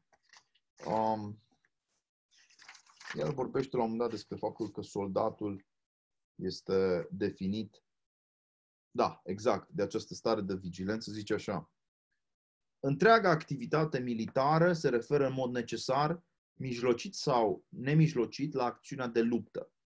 Soldatul este recrutat, îmbrăcat, înarmat, instruit, el doarme, mănâncă, bea și mărșăluiește, totul numai pentru a lupta la locul potrivit și la timpul potrivit. Mi s-a părut foarte tare această formulă și mi-a amintit de imaginea aceasta a soldaților lui Hristos adică a călugărilor.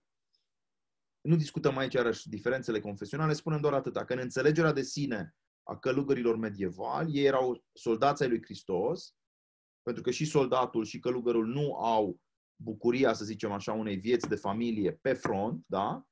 Și deci trăiesc într-un fel de castitate și soldatul, nu spun că asta face și soldatul francez uh, după ce se termină războiul, că ar fi o afirmație ne, neîntemeiată. Da? E greu de crezut acest lucru. Dar, re- repet, în actul de pregătire a războiului și în actul de angajare în luptă, soldatul, zice așa, nu? E recrutat, îmbrăcat, înarmat, instruit, doarme, mănâncă, bea și mărșăluiește. De ce? Pentru a lupta la timpul potrivit și la locul potrivit.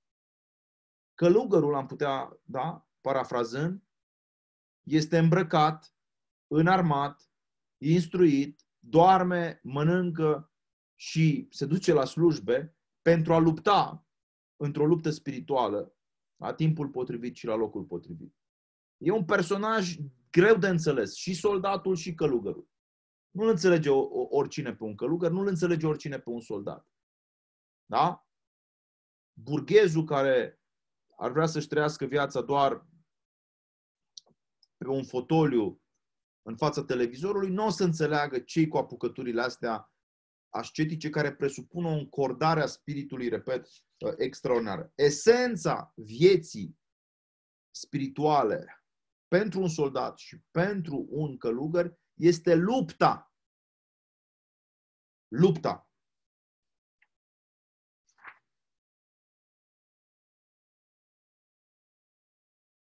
nimicirea forțelor inamice, cucerirea provinciilor adverse, simpla ocupare, invazia, sunt acțiuni orientate nemijlocit asupra uh, relațiilor politice între o națiune și o alta și toate sunt mijloace care au în vedere înfrângerea voinței dușmane.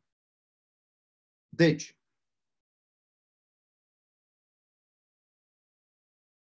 aș vrea să fiu mai apăsat ca oricând. Pentru cine înțelege viața ca pe o ofensivă, cum să spun eu? Simpla lui prezență, să dăm un exemplu legat de prezența unor creștini în cetate. Simpla lui prezență care eventual iradiază în jur o bunătate și o, și o dragoste deosebite, nu e totuși suficientă un om care este, se percepe sine ca un soldat în armata lui Hristos, e dornic nu numai să recruteze și alți oameni în aceeași armată, da? ci e dornic să vadă acea armată capabilă să înfrângă adversarul. Care este adversarul în cazul nostru? Să spunem secularismul. Secularismul este o ideologie adversă, adversară a creștinismului și dacă tu nu-ți propui să recâștigi niște fortărețe în universități,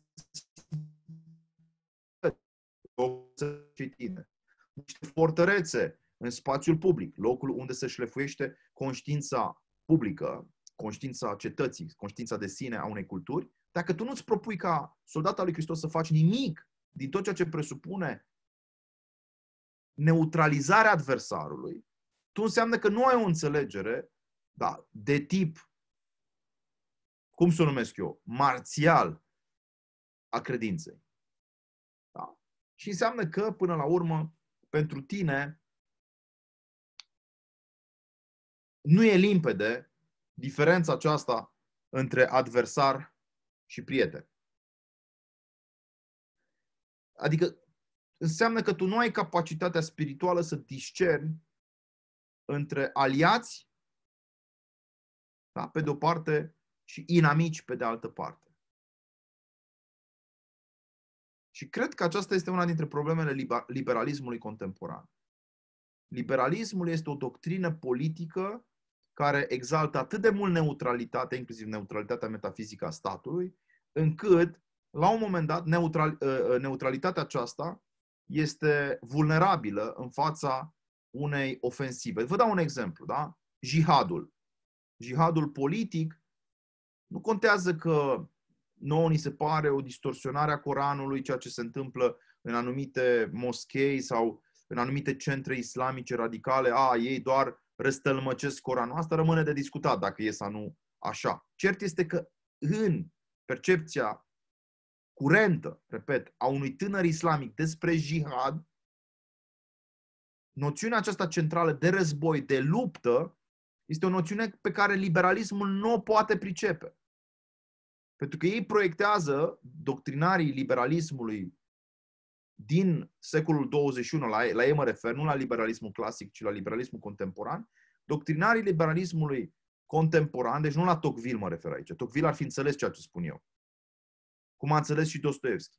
Dar nu au înțeles, după părerea mea, mulți autori contemporani care se revendică de la acest curent, faptul că jihadul pentru un tânăr islamic din Maghreb sau din sudul Af- Franței este o realitate cotidiană. El crede, membru Comisiei Europene, parlamentarul european de la Bruxelles, el crede că jihadul se exprimă cu acea intensitate palidă cu care se exprimă rugăciunea unui creștin din uh, Bruxelles într-o jumătate de oră de mesă catolică și ea diminuată. Deci el își imaginează că starea aia de tensiune nu durează mai mult de un ceas pe săptămână, când de fapt starea de jihad interior pe care o resimt unii adepți ai Coranului politic este o stare de tensiune și de încordare permanentă.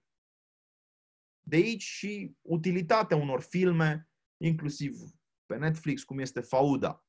Da? Un film care îți scoate în evidență diferența de mentalitate între un membru, un cetățean obișnuit al statului Israel, un membru al democrației liberale din Israel și un soldat al jihadului palestinian, de pildă.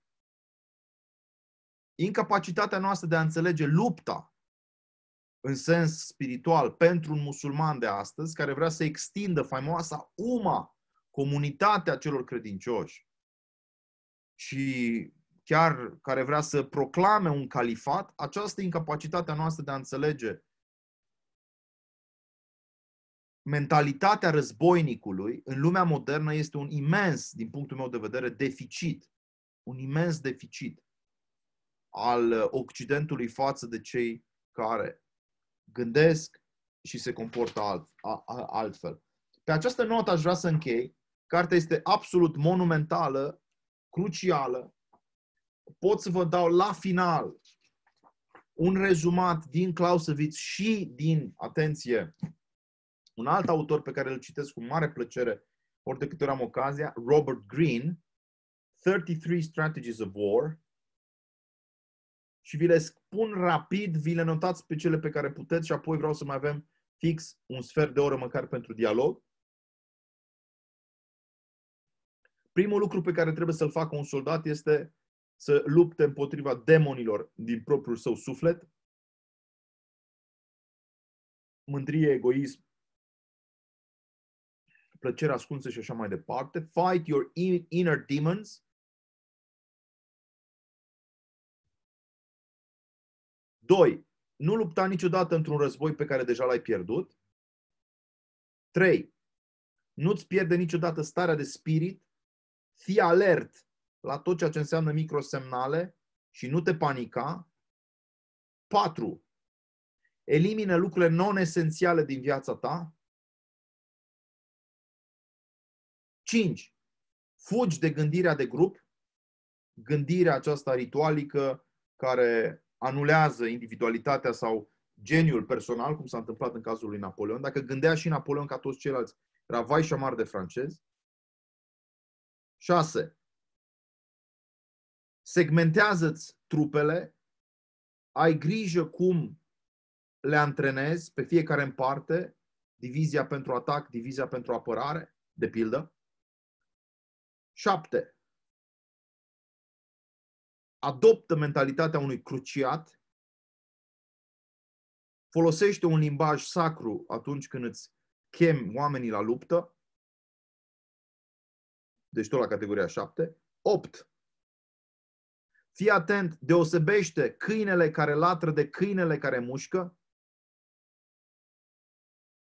9.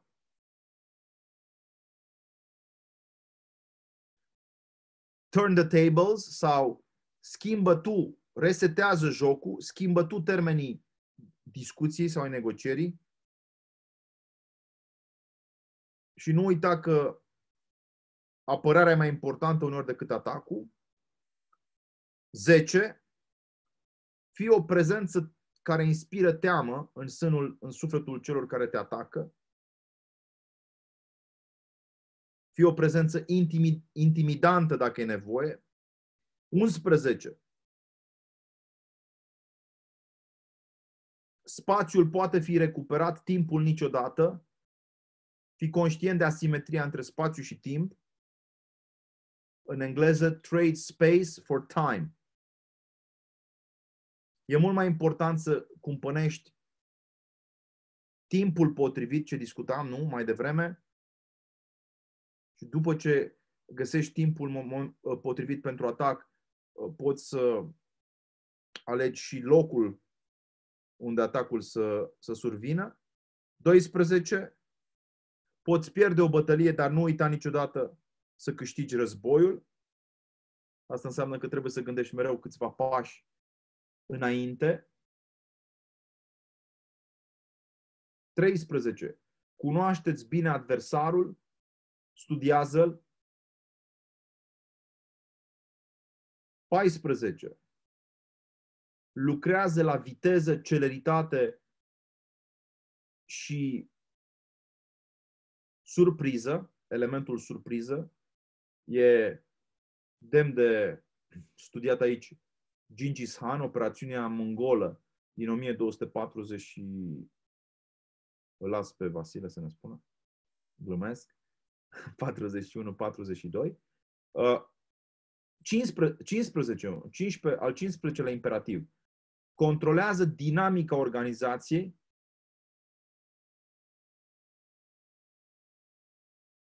poți să-l studiezi mai bine pe Rommel aici și să vezi ce făcea Rommel Ervin Rommel în nordul Africii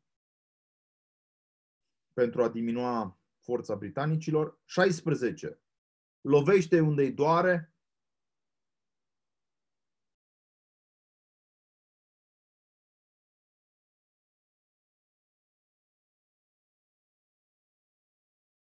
Este motivul pentru care eu în campania uh, din 2018, în înfruntările brutale cu adversarii, pe subiectul referendumului pentru familie, le ceream public să se delimiteze de orice comportament care cauționează pedofilia și să condamne public pedofilia și după aceea abia intram în discuție cu ei, să repudieze orice abordare nuanțată sau blândă a pedofiliei și vedeam că îi doare subiectul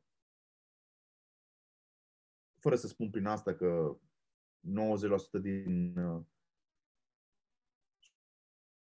cauze n-ar fi fost uh, antipedofile, dar vă spun că e important să ataci acolo unde doare.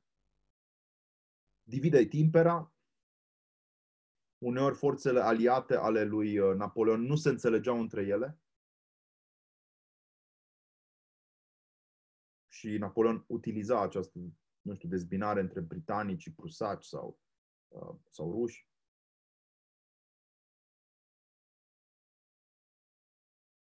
Optsprezece. Caută flancul vulnerabil al adversarului. 19. Încerchește-ți adversarul sau inamicul. 20.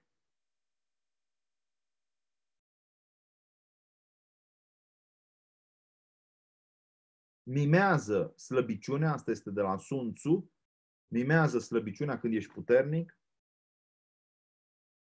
și nu uita să pari puternic atunci când ești slab. 21. Negociază în timp ce avansezi. Câștigă-te timp negociind cu adversarul, dar de fapt tu în timp ce negociezi cu adversarul îți muți trupele, înaintezi.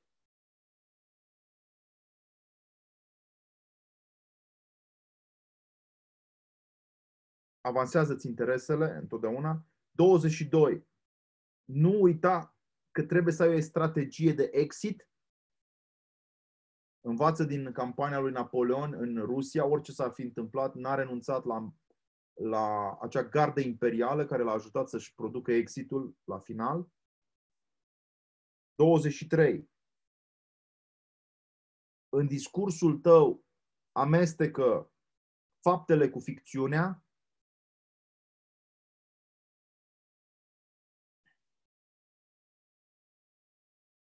Asta nu înseamnă că trebuie să minți, asta înseamnă că tu ai, cap- ai capacitatea de a proiecta într-un discurs mitopoetic, știți cum spuneam, da? Victoria, ea nu este încă un fapt. Da? Ea nu este un fapt, ea este de fapt, la, înainte de a fi o realitate, uh, victoria este o narațiune. Uite că mi-a ieșit o vorbă bună. Da? Deci, înainte de a fi o realitate, victoria e o narațiune. Și în sensul acesta trebuie să fii un good storyteller, a good storyteller, un bun povestitor. Nu uita de elementul de surpriză, lecția lui Hannibal, Hannibal prezența înfricoșătoare a, a cui? A elefanților, dragii mei. Mergem mai rapid. Nu uita să discuți bătălia ta ca fiind, în termeni morali, ca fiind noi versus ceilalți.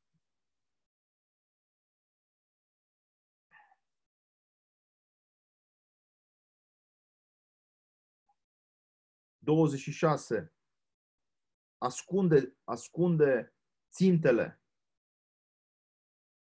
pe care ei le-ar putea lua în, în calcul, adică utilizează camuflajul. 27. Construiește un, un sistem de alianțe strategice.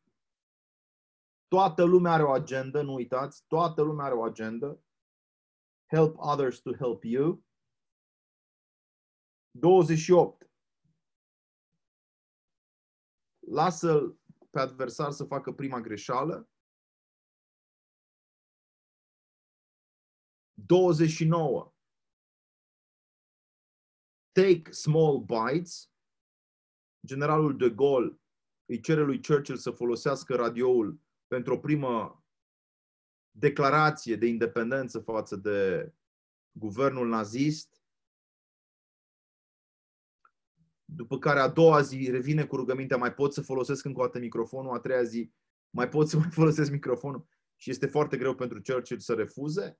30. Pătrunde în mintea adversarului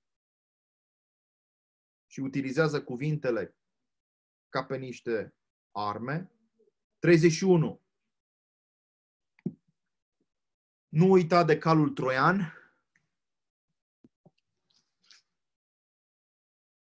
32.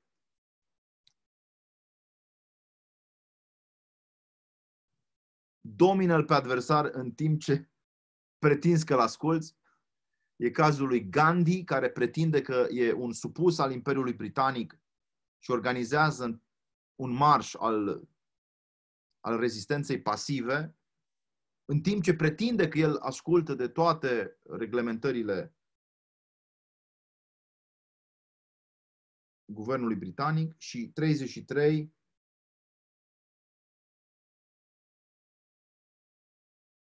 nu uita de faimoasa chain reaction strategy. Chain reaction strategy evenimentele în lanț, da? care trebuiesc declanșate, modelul cascadei, da? de reacții ce s-a întâmplat la Toulon, ați văzut, încă o 1793, da, Napoleon mută, mută tunurile într-un loc, ăștia își mută imediat navele, el mută după aceea trupele, ăștia își mută din nou tunurile și toată această cascadă de reacții îi pune într-o dificultate. Pentru asta recomand șahul ca sport al minții. Da? Dragilor, a trecut mai bine de o oră jumate, deși am spus că sunt întâlniri de o oră jumate, niciodată nu reușesc să le fac doar de o oră jumate, dar fiind prima întâlnire, o să ziceți ce legătură este între Constantin Noica și Karl von Clausewitz, probabil că e una uh, care ține în primul rând de triumful uh, limbii germane în, în, în, în uh, viața lui Constantin Noica, limba germană ocupa un rol foarte important. Vă ascult întrebări, reacții, critici și apoi închidem. Aș vrea să luăm mai multe întrebări. două, trei și apoi eu, oricum la ora 20 chiar trebuie să închid.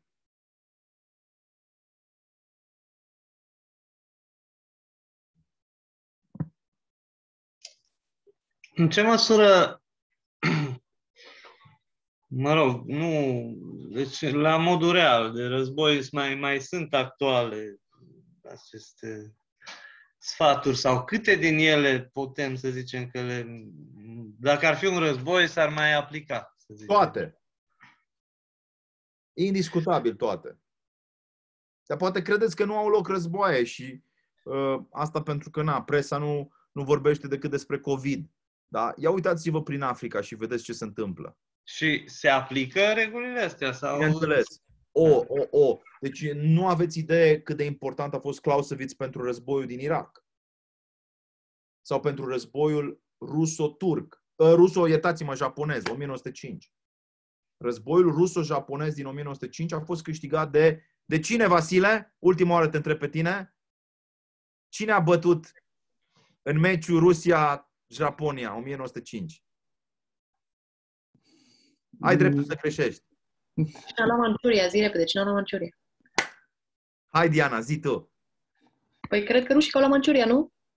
Nu, nu, nu, nu, nu, nu, nu, nu, nu, nu, au câștigat japonezii. Câștiga japonezii. Au câștigat japonezii, iar, iar uh, iertați-mă aici, uh, geniul militar în ghilimele al lui uh, Nicolae al II-lea s-a dovedit a fi lamentabil. De altfel, Nicolae al II-lea mai târziu uh, ut- utilizează inteligența în ghilimele din nou a lui Rasputin ca să uh, hotărască unde mută trupele pe, pe harta războiului, primului război mondial. Nu, japonezii au făcut praf pe, pe uh, turci, scuzați-mă, pe uh, ce am eu acum, că a fost războiul ruso-turc, pe ruși și uh, lucrul acesta se întâmplă în condițiile în care uh, japonezii îl traduseseră pe Clausewitz, l-au tradus pe Clausewitz undeva la finele veacului XIX. Asta este un argument pentru ce înseamnă faimoasa translatio studii, că Diana e filolog și, și știe, o cultură, o cultură care nu face traduceri la timp, rămâne în urmă.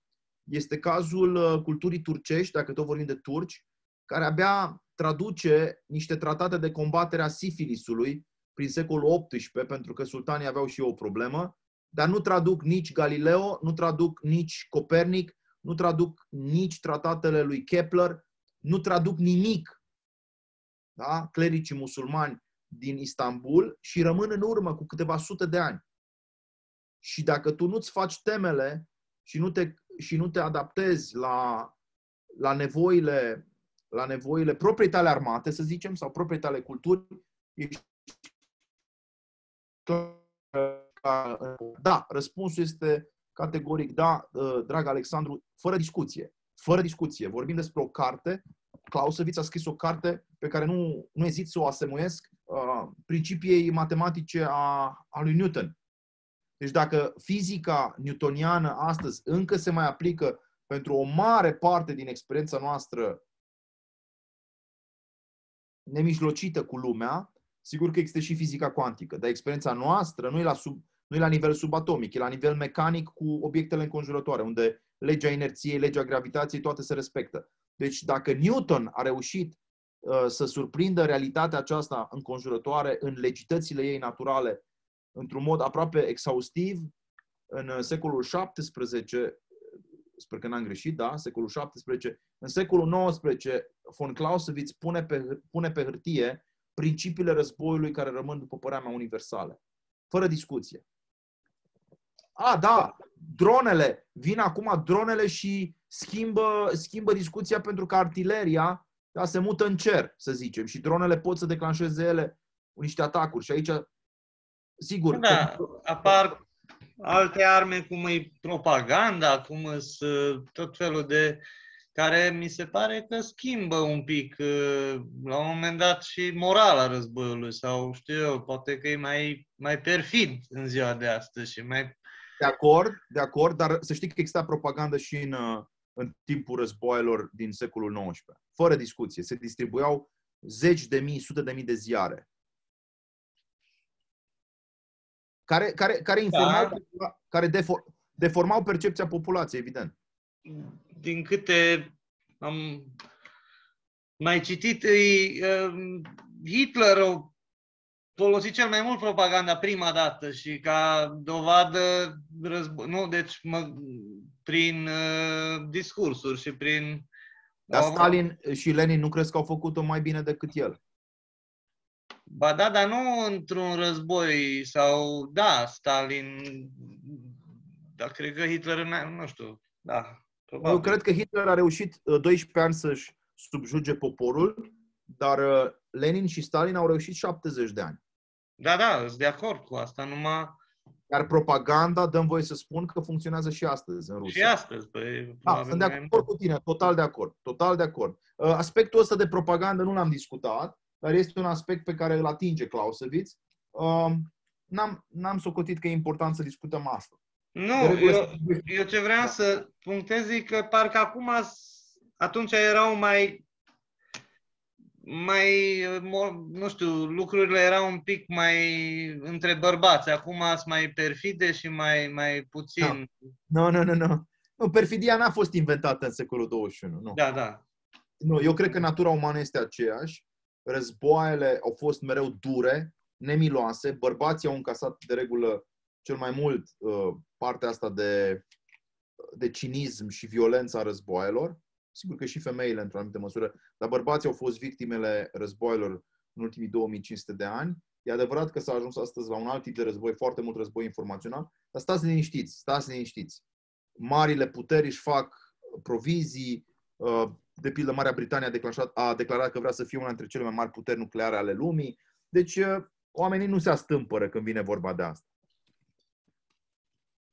Um, Dacă îmi permiți, Mihai, 20 Rog. secunde, că după aia trebuie să mă retrag și eu.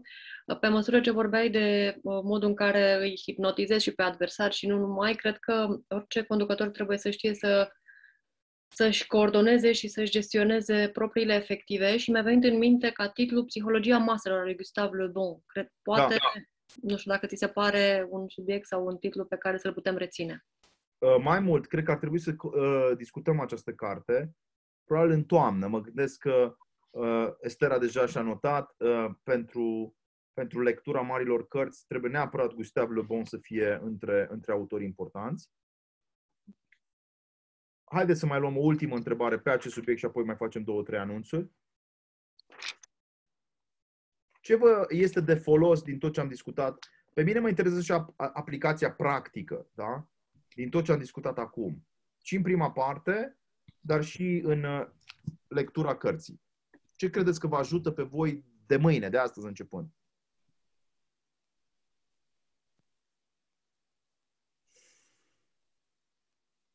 Evdochia. Nu vă aud. Trebuie să vă... Eu nu. De ce nu vă aud? Așa.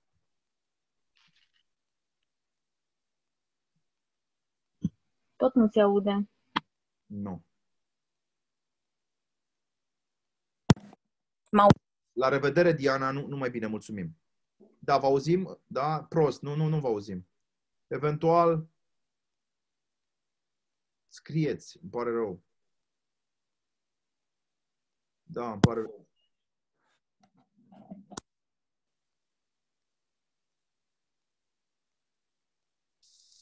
Alo? Bună seara! Cu cine avem onoarea? Ovidiu. Da, numai o secundă să pornesc da, și video. Eu am grijă și de niște grătare, că e ziua mamei mele și de asta să afară. De asta e peisajul ăsta. Uh, întrebam, uh, adică aș întreba, ne-ar folosi să ne uităm, de exemplu, pe luptele lui Napoleon și să punem, să spunem, mai ales la cele pe care nu le știm, nu știm care e deznodământul, punem pe pauză și ne gândim, ok, ce aș face eu? Mergem Asta, să cu facem un altfel moment un mai pic. departe și din nou punem pauză și din nou ne întrebăm. De ce spun asta? Mi-a dăruit cineva în liceu o carte pe care nici acum n-am citit-o, o am în bibliotecă, Gheorghe Eminescu, Napoleon Bonaparte. Și mi-a spus, uh, mi-a dat metoda de citire a cărții. A spus, tot timpul te oprești, din când în când închizi ochii și te gândești, ok, ce ai fi făcut tu în punctul respectiv? Atât ca război, cât și diplomatic. E asta o metodă bună de lectură a lui Clausewitz? Probabil, dar uh, trebuie să vă uitați puțin pe cartea lui Clausewitz și după aia și pe cartea uh, despre Napoleon. Clausewitz nu descrie neapărat bătăliile în acest fel, el, el trage deja învățămintele din deznodământ. Deci el se raportează întotdeauna la deznodământ pentru a extrage repede lecția. Dar sunt de acord că, uite ce am făcut noi astăzi, când am dat drumul la clip, oricum Epic TV History este pur și simplu, cum zice englezul, outstanding, este remarcabil. Nu sunt multe documentare remarcabile. Dar ăsta este Epic TV History, e cu adevărat remarcabil. Lucrează, de pildă, au lucrat pentru războaiele lui Napoleon cu istoricul armatei Franței. Deci, istoricul oficial, atenție, al armatei Franței. Și cred că nu, nu greșesc. Dar, într-adevăr, era bine să ne oprim și să vă pun eu întrebările astea. Ce facem? Uh, dragilor, modul ăsta interactiv de, de construcție, cumva, comunității noastre, este, este în plină desfășurare, învățăm și vă, și vă dăm, uh, vă dăm și noi uh, elemente de noutate în zilele care vin, săptămânile care vin, după care ne dați voi feedback și tot așa o să creștem, o să creștem. Nu e nicio problemă Evdochia, poți să scrii dacă vrei și dacă nu, cu siguranță mâine, dacă testezi căștile, o să avem posibilitatea să te auzim. Nu uitați mâine. Estera, ești pregătită să ne spui? Da.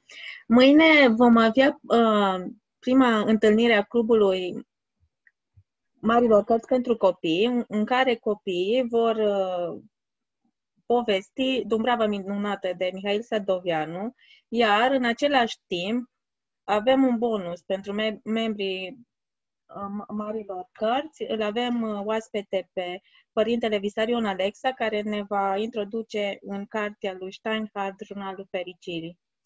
Iar uh, miercuri reluăm întâlnirile obișnuite de miercuri cu teologul Emil Bartoș, care ne va vorbi despre C.S. Lewis și creștinismul redus la esențe. Bun, aș vrea în mod special, fiindcă avem un grup select și unii dintre voi ați putut sta o oră jumate, alții ați putut sta uh, două ore și o să încercăm să fim atenți un pic și la acest aspect. Dar, repet, mi-am luat intențiunea 20 de minute, e vina mea, dar cumva nu, nu regret să lămuresc cumva rațiunea de a fi acestui, am zis, cerc noica. O să stăm mai mult pe filozofie și pe teologie la aceste întâlniri. Ce vreau să spun legat de ziua de mâine, când noi facem un bon, când oferim un bonus, nu scria nicăieri că marțea trebuia să facem și întâlniri cu, uh, cu cei de la nivel de bronz, cu toată lumea. Eu aș vrea să vă dau dumneavoastră, în mod special, celor care sunteți silver, care sunteți gold, care sunteți pre, uh, platinum și în curând titanium. Uh, aș vrea să vă dau linkul acesta, uh, dacă Estera vrea să mă ajute, să dăm acest link și să aveți libertatea, dar numai dumneavoastră, atenție, cei care sunteți la un nivel de membralitate, să oferiți acest link unei persoane pe care chiar ați pregătit-o. Deci nu dați link-ul așa tamne să salut, ia uite și tu, ci îl dați un pic înainte pregătit. Și la modul următor, vă rog să mă iertați că sunt acum în, în exercițiu de vânzări, dar mie îmi place. Uite, m-am gândit la tine, e o perioadă specială, vin sărbătorile, cred că e important să punem accentul pe suflet. Mâine, și chiar credeți-mă că așa trebuie să sune prezentarea, deci puteți face în seara asta. Mâine am două vouchere și ești unul dintre cele două persoane la care, una dintre cele două persoane la care m-am gândit să-i ofer cadou. De ce? E o întâlnire specială cu părintele Visarion și nu e orice uh, întâlnire. Discutăm Nicolae Steinhardt o capodoperă, Jurnalul Fericirii. Dacă aceste persoane cărora voi le faceți cadou, două vouchere pe lună puteți să faceți, da? Asta este, nu o să pu- pu- publicăm chestia asta, dar țineți minte, da?